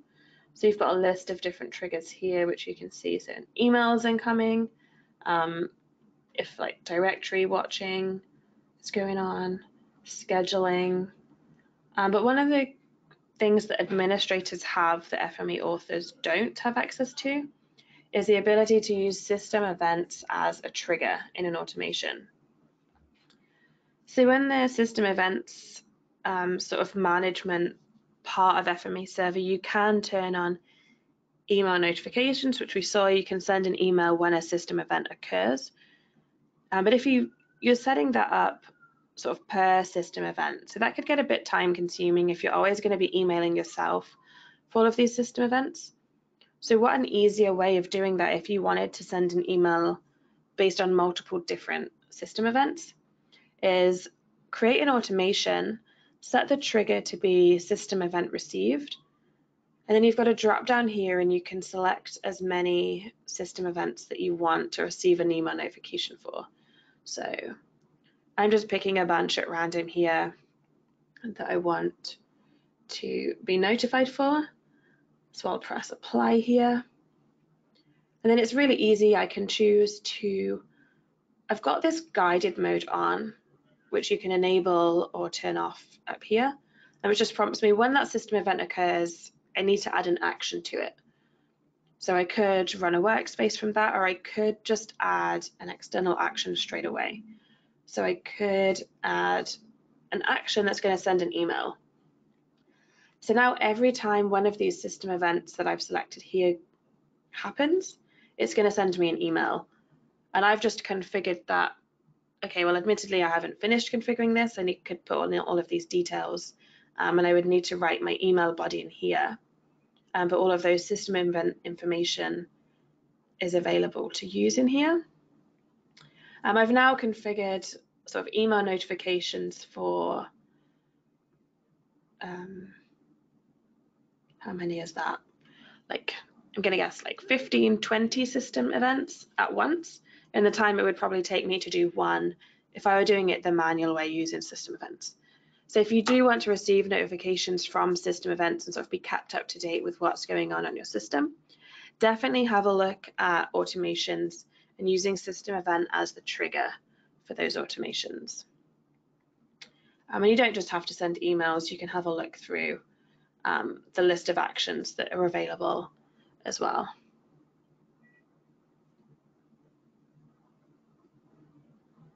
So the next feature we'll have a look at is system cleanup. Uh, so this is available under the admin panel on the left hand side I'm going to leave that automation. I don't need to save it. Um, so what you'll find is if your FME server is used heavily for a long period of time, or maybe just used fairly frequently over a long period of time, Um, you can get quite a buildup of files um, and it will use your system resources. Um, so either it'll be like resource files if you've got multiple types of log files or job history records. These could get fairly big. Um, so these are cleaned up automatically by FME server using tasks defined on the system cleanup page of the server web interface. So you can see here I've just opened up that system cleanup page by going under the admin panel, clicking on tasks. You can see all of the different system cleanup tasks that we have here. Um, so if I just make this a little bigger so you can read this a little bit easier, it's doing a lot of deleting things. So like deleting log files, deleting temporary files, job logs, um, but it has a max age, so it will only clean them up once it gets to that time. So off the top of my head, this is in seconds. So I'm gonna guess that 86,400 seconds is around a week. But don't quote me on that because I haven't got a calculator to hand. Um, if anybody wants to do the math and let me know, that would be useful. Um, but you can configure that as well in any of these. So deleting, let's click on delete core logs and have a look. You can choose what folder you want to delete, choose if it's enabled or disabled. You can add filtering in here. Um, so if you wanted to see if something ends with or doesn't end with a certain name, maybe there are certain files you don't want to get cleaned up, you could turn on filtering. Um, oh, okay, yeah, it was a week. You can remove files older than and you can choose what time period you want to use. And but on that page, this sort of task page, the max age is displayed in seconds. But when you configure it, you have useful um, sort of time periods to choose from.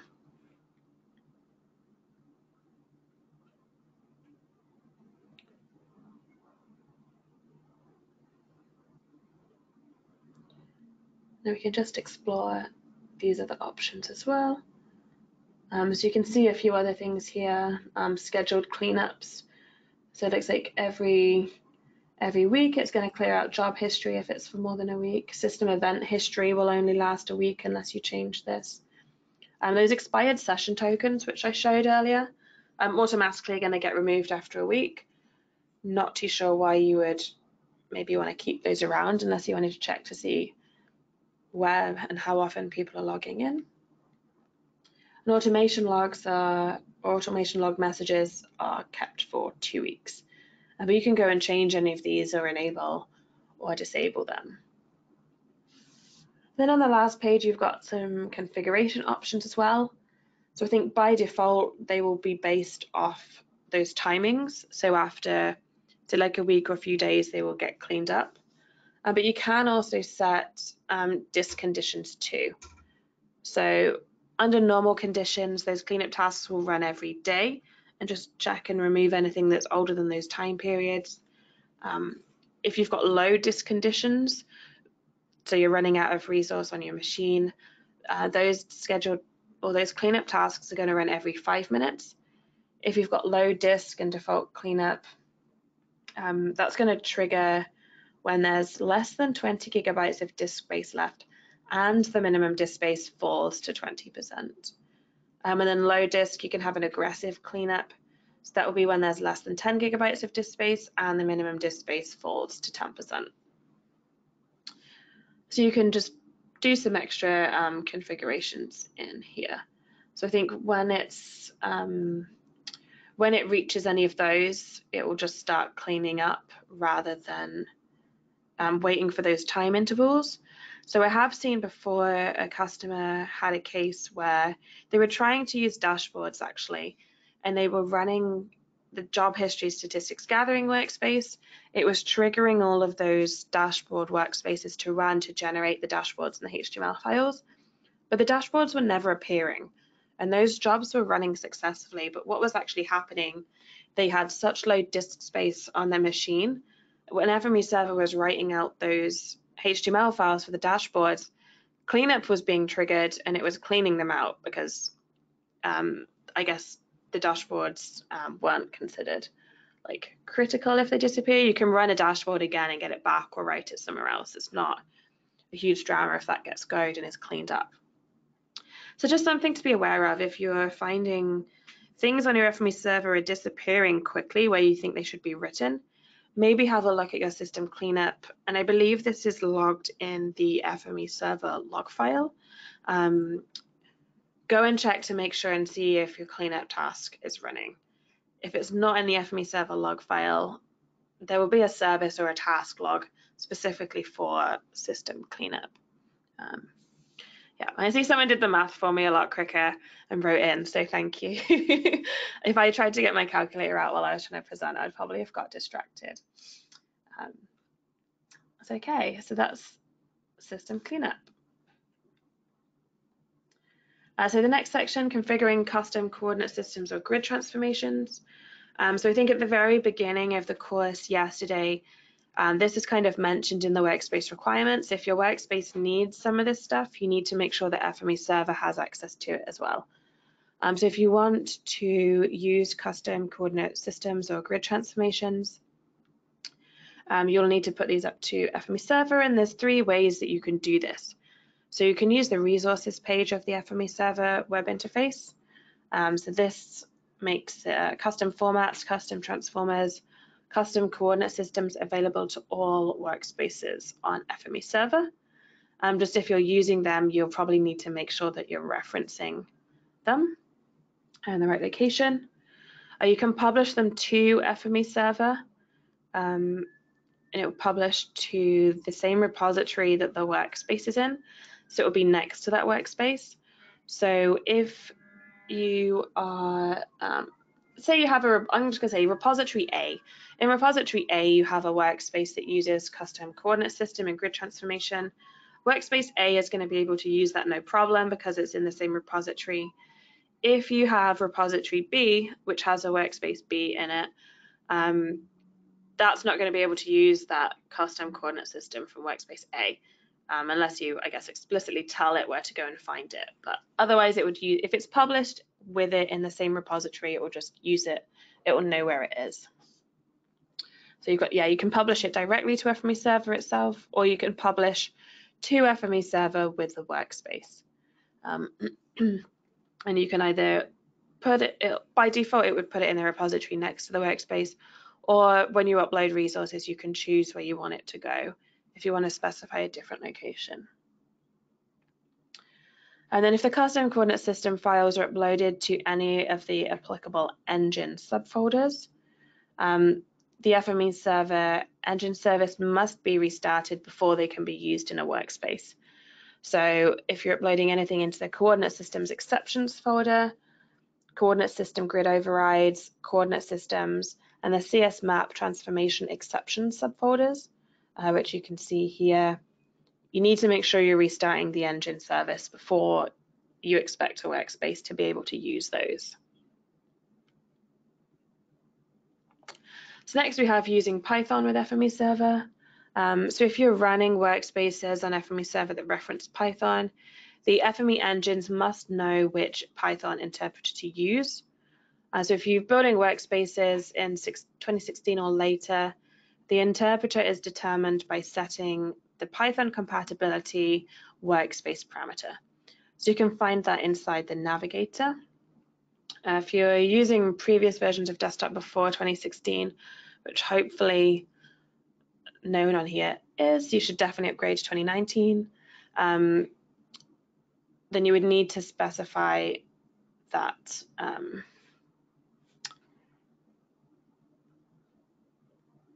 um, hang on, I've just got myself lost now. Yeah, so if your workspace is more recent than 16, you do it in the navigator. Um, if you're using an older version than that, then you would probably want to check the documentation and check where you're setting that. So when you publish it up to FME server, the engine knows and is able to use the right Python interpreter. Um, so there is documentation here of using Python with FME server. So open that link. Um,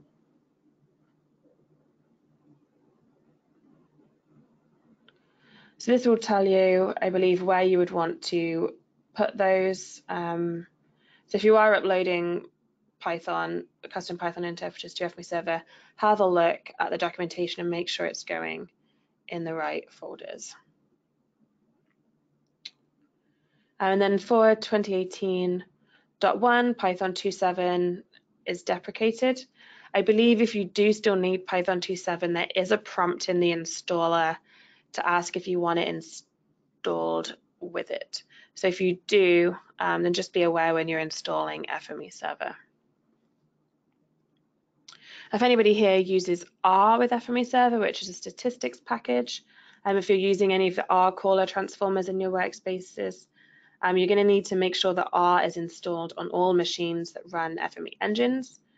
So I guess you need to make sure you install R and then install the SQL DF package for R as well. Um, or you can uh, look at the documentation if you need to tell FME server to look for the R package in a non-standard location. So adding shared resources. Uh, so the resources page is a convenient way to store and access the following. Um, we've already had a look at some of these. You can you can store your backup files in there if you want to, um, but I would recommend, like we talked about earlier and yesterday with backup files, if you've made a backup of your server in case your server goes down, maybe not a great idea to keep it on the same server, just in case something catastrophic happens to that machine. If you've lost FME server, you've also lost your backup if it's on the same machine. So definitely recommend keeping your backup somewhere else. I mean, you could keep it in both locations, but definitely keep a copy somewhere else. Um, and then you just keep your dashboards on there. Any data that workspaces might need, it's a good idea to publish those um, to the resources folder and keep them in here for the data. It's a lot easier to manage and keep track of your data if it's in the resources and don't just publish it into the repositories with your workspaces. And you've got the engine folder, so for anything extra you might need, like those plugins, the custom coordinate systems, etc. Um, you've got all of these shared resources here. As if you wanted to create, uh, upload files and folders, you can go into, I'll go into the di uh, data directory, for example. You can either create new folders or you can use the upload button to upload files or folders straight here. Uh, so this dialog or these buttons available should be the same whatever, whatever sort of folder you're in inside the resources. I mean, you can also create new network resources. So you can do this from the web interface from 2018 I believe before that you would have done that in the configuration files. Um, so you will need to make sure that the FME uh, web application, the FME server core, and the FME server engine services, um, which we saw in the Windows services, are running as a domain service account that have the correct network access permissions as required. So you'll need to make sure that that service account running those services has read and write permissions to that location. And that's something to sort of like double check and triple check. A lot of people will uh, come to support because things aren't reading and writing properly. And then normally it's just a case of permissions that they weren't set up correctly for that domain service account to have the right access to the right folders. So that's something to just be aware of and double check. So from that main resources page, you can click new in the top right, give it a name, um, sort of like a back-end name, a display name that people would see in the UI, description, and you can choose what type of resource connection you want. You can point things to an S3 bucket or a network-based resource. So you would be able to sort of, these things would appear in your resources as if they're part of FME server, but they're actually just sort of viewing things wherever they live, either if they live on S3 or in a network resource. Then you can see here in the screenshot, it would look a bit like that once you've connected that external resource. If you want to share resources, um, say if you've created a folder inside data with loads of stuff in, you need to share it with someone else on your team. You can click on the share icon, which would appear next to a folder, share with others. And this will allow you to type in a name of someone. Um, and it also shows you roles as well. So you can either share it with specific people or you can create a role and share it with a group of people. And you're also able to choose what permission they have for that folder as well.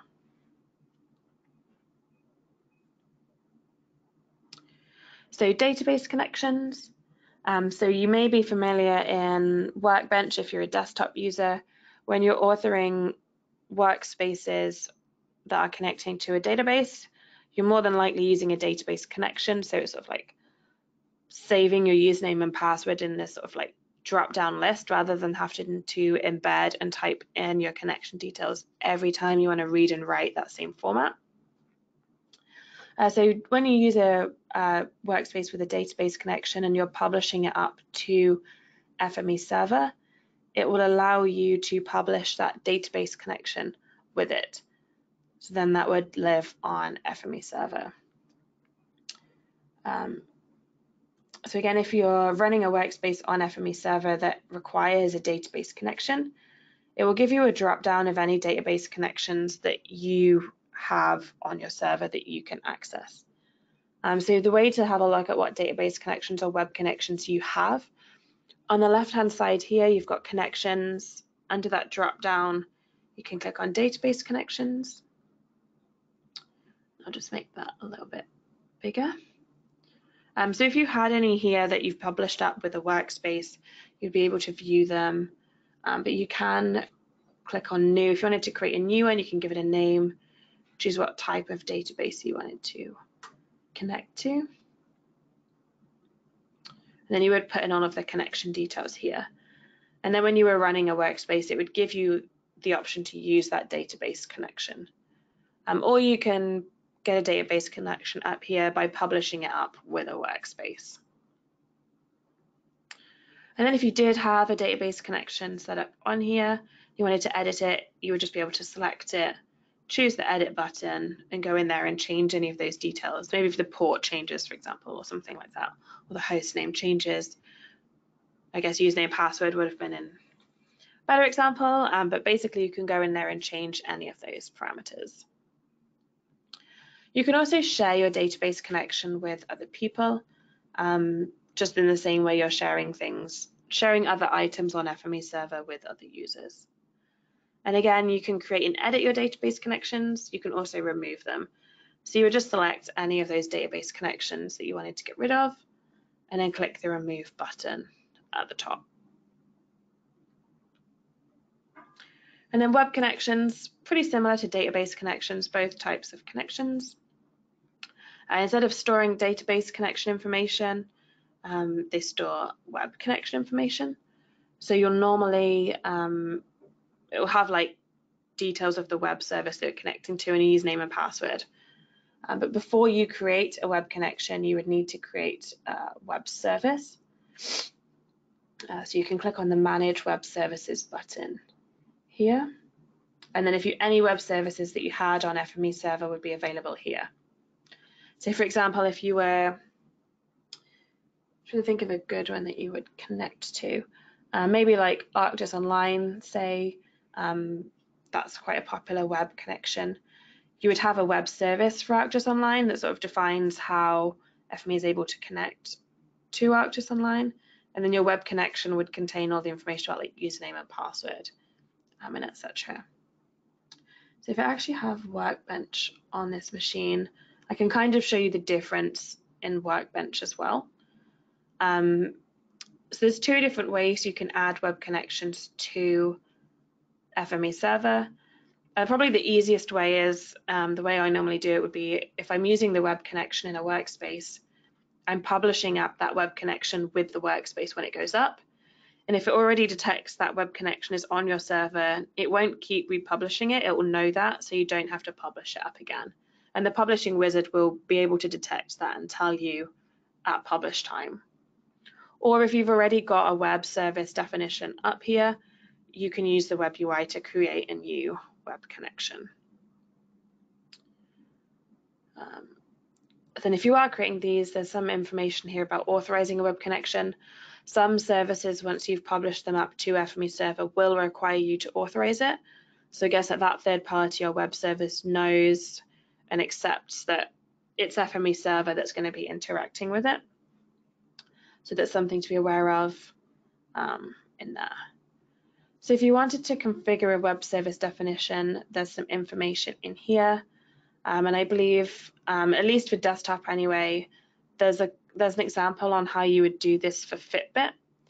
Um, so you could always check that out if you're interested in this. Um, so if I open Workbench up actually, go under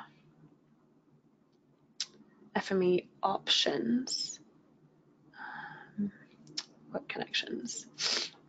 So this, this might not actually be a very good example because I don't have any connections that I've created on here. Um, but if this loads, if not, let's see. If Workbench will open on this screen from my computer. Okay, you can manage the services here. Um, so you can see all of these here are the sort of web service. Or if I do it here in preferences, web connections, you can see I've got a lot more here. Uh, you can manage the services, which is sort of all the information. You have to give it a client ID, a secret, a redirect URL. But these are just like the web service definitions that you have. And then any connections that you created, so I've got a bunch for FME server, would then use those service definitions to create that connection. Um, so you need to make sure um, if you're creating these that you're aware of the difference between them. Uh, but definitely check out the documentation if you're interested in that. So let's bring FME server back. So that's the end of the chapter on customization and monitoring FME server. So we've had a look at quite a few things in that section. Um, we started off with dashboards if you wanted to display reports about your sort of general server health and sort of see statistics on jobs. Uh, one thing I should probably mention at this point is sort of the dashboarding tools in FME server are fairly primitive. And if you wanted to use something a little bit more elegant. I know some people here have been playing with something called Prometheus. I don't know whether anyone listening to the webinar is, has heard of Prometheus or uses it, um, but we are adding endpoints to the REST API for 2019.1 for that, which allows you to connect those services to FME server, and I think it gives them the data and statistics in a format that those systems understand so you can sort of use a better tool for dashboarding rather than these. Um, but if you're happy with just viewing the HTML reports here, go ahead and do that. If you want to get a little bit more high tech, might be worth having a look at 19.1 when it's released, I believe, at sometime in July and something like Prometheus. Um, then the other things we looked at, sort of all basically um, components that a workspace will need to run and how you get those on FME server. So things like custom formats, transformers, coordinate systems, uh, Python interpreters, if you're working with R, um, had a look at system events and system cleanup. Um, so I believe as well for system events, if there's anything you're not seeing um, for the system event side, um, purely for administrators, um, that kind of system event, do let us know on the Knowledge Center. I believe there is an idea or a Q&A post about this. So if there's anything that you think would be really useful as an administrator that you haven't seen already, do let us know. Um, how you can share resources with other users and database and web connections. So hopefully now after that chapter, you're aware of the different ways that you can sort of customize and monitor your FME server. And you could go away and do that yourself fairly easily. So now um, chapter seven, it's quite a quick chapter on troubleshooting. Uh, because obviously as administrators, if you're the one setting up your FME server system, I guarantee you, you're probably going to be the one that your FME server users are going to come to if something goes wrong. So some initial troubleshooting steps we've got here. Um, obviously there's the classic sort of IT line, turn it off and on again. So you could try restarting your FME server services And also try rebooting your whole machine. Sometimes that's enough to fix things. Uh, use the task manager and have a look for any processes that may still be running or hanging and kill them off. Um, and then maybe do a restart or check for those orphan processes after you've restarted just to see if anything is being left behind. And obviously, I guess the big one is if something stopped working, what changed recently on your system? So that might be in um, one sort of place where system events comes in handy. Someone's like, I haven't signed into my server, I haven't done anything. You can check in the system events and actually looks like you did sign in, you just published a new workspace, perhaps uploaded some new data to a repository. You can start to get a better sort of view of what's going on on your FME server. And I would say the next place to look is if something is not quite right with FME server, have a look inside the log files. Um, we're pretty good at logging things in here. Um, I guess the challenge is knowing which log file you want to be looking in. Uh, so if in doubt and you're talking to support, I would normally ask people just to zip up the whole log file, log folder, maybe minus the job logs unless it's a specific workspace issue, and send them over, as it can sometimes be a bit easier to look through things that way. Um, but typically if something is going wrong with like FME server core, main functionality of FME server, any configurations that you've been doing to FME server, things like Active Directory, um, look inside the core logs. So I believe in there, there's an FME server log, there's an FME server core process monitor log.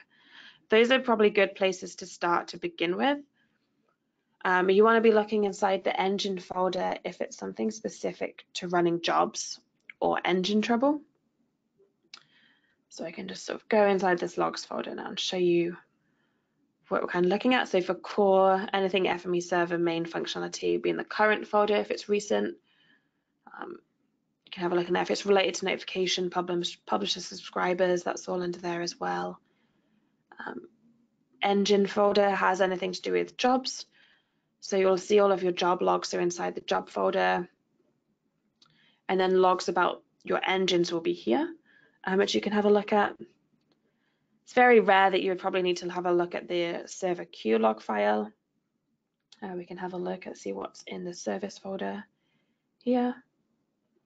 So again, go into current. Um, so some of these different services, um, so like the job submitter service, data download, data streaming, the log files here if you're having a trouble with a specific service or the REST API. Um, and then Tomcat is basically anything to do with the web application server. So if you're not seeing things appear right in the web UI or even sometimes REST API errors, can be useful to go and look inside the Tomcat log folders, inside those log files.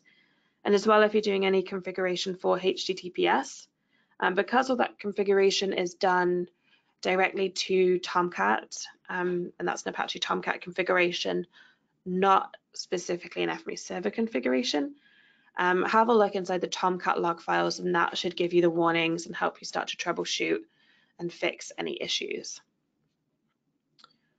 I say what you're looking for inside these log files is INFORMs you can normally ignore. Um, they might have information, but if something's probably not working, you're probably going to be looking for a warning or error. And I think inside the Tomcat log files as well, you want to look for severe. If anything really bad's gone on, you'll see a severe um, error message. So you can go through and have a look. Normally Control F, download the log file, open it in text editor, and Control F is the easiest way to find out what's going on. I mean, I guess I should mention back on, I think it was this one. Um, the server experts at SAFE have um, tried to put together um, sort of a fairly comprehensive troubleshooting guide.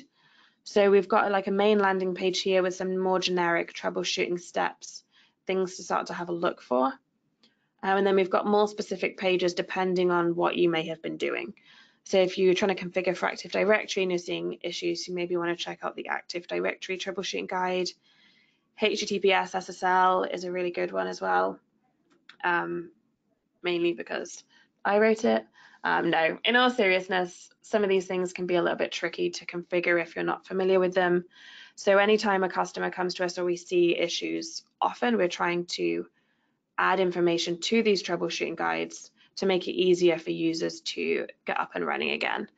So again, like here, we've got common Active Directory configuration errors, and then what you can do to resolve those as well. So definitely recommend checking out on the Knowledge Center um, as well for your error messages. Um, and I go back to that page. And again, in here, we've got some additional troubleshooting information. You could always use as another reference if you're finding that something isn't isn't going to plan. Yep, so we've just mentioned as well the Knowledge Center or the FME community, um, it's now called. So we've got an extensive collection of articles and Q&A postings on there. So typically if we find something um, that appears a lot, we may write an article on it. It's a little bit more in-depth information. Um, not quite at documentation level, but we're normally either telling you how to do something or more detailed information on an issue. Um, or as well, we can and a lot of users will post questions on our Q&A forum. So if something's not quite right, you can post on there and then you've got FME users all over all over the world and our FME partners who know what they're talking about able to post answers on there and help other people out, which is a really great resource. Um, so I've already mentioned the troubleshooting guides. Um, as well, if you do find anything that you think is a serious problem, something isn't working as expected, um, you can click on the report a problem and raise a support case direct with us. And like I mentioned before, if you are experiencing issues, it's a really good idea if you're raising a support case to include as many logs and screenshots of the issue as possible to make it easier for us to help troubleshoot and diagnose it. So that brings us to the end of this FME server administration course. Um, so now we'll just go through the wrap up section, uh, which is fairly quick. Uh, so just a bit of information about product information resources. So we obviously have safe.com is our website, um, which has a lot of information on there about what FME can do. Um, yeah, all about what we're up to at SAFE, what FME is about, what FME can do. If you need to get in touch with support, we have our support page as well and all the different ways you can contact us.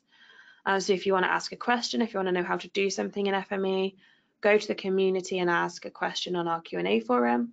You can suggest ideas there for product enhancements if there's anything you want to see. Um, we also have live chat available between 9 and 12, 1 and 4 Pacific time. So if you've got any quick questions, you can come on there and just chat with us. Um, I don't really know how many users on the training have bought FME through a partner or a reseller. Um, so we have those all over the world. So if you've purchased through them, those would they would be your first point of contact if anything's gone wrong with your FME. Um, I also have a blog as well. So write I think fairly frequently try to write articles and push articles up to the blog. They're a bit more interesting. Um, you can check those out. I've got the documentation, which hopefully as administrators you're familiar with reading the documentation for FME Server. And then the community and knowledge base, which I've already mentioned. So we are regularly updating this training course. and we've actually recently just finished updating this to 2019. Um, so we've tried to include as much 2019.1 content in this training course because it's so close to release. And I believe if you're going to be installing and setting up FME server soon, it would be useful for you guys to know what was in 19.1 in case something in there is worth maybe waiting an extra month for. Um, do let us know any course feedback that you have um, either in the comments through the Q&A or I believe there'll be a feedback questionnaire. Um, so there is a link in the manual to the feedback form, uh, but you will be reminded, you will get an email reminder afterwards, let us know. Um, so if there's any exercises you think would have been useful to go through, just allow you practice, let us know so we can get this updated when 19.1 is released before we do the next training course, which is probably in the fall. Um, and you should also receive a certificate as well, which will get emailed to you.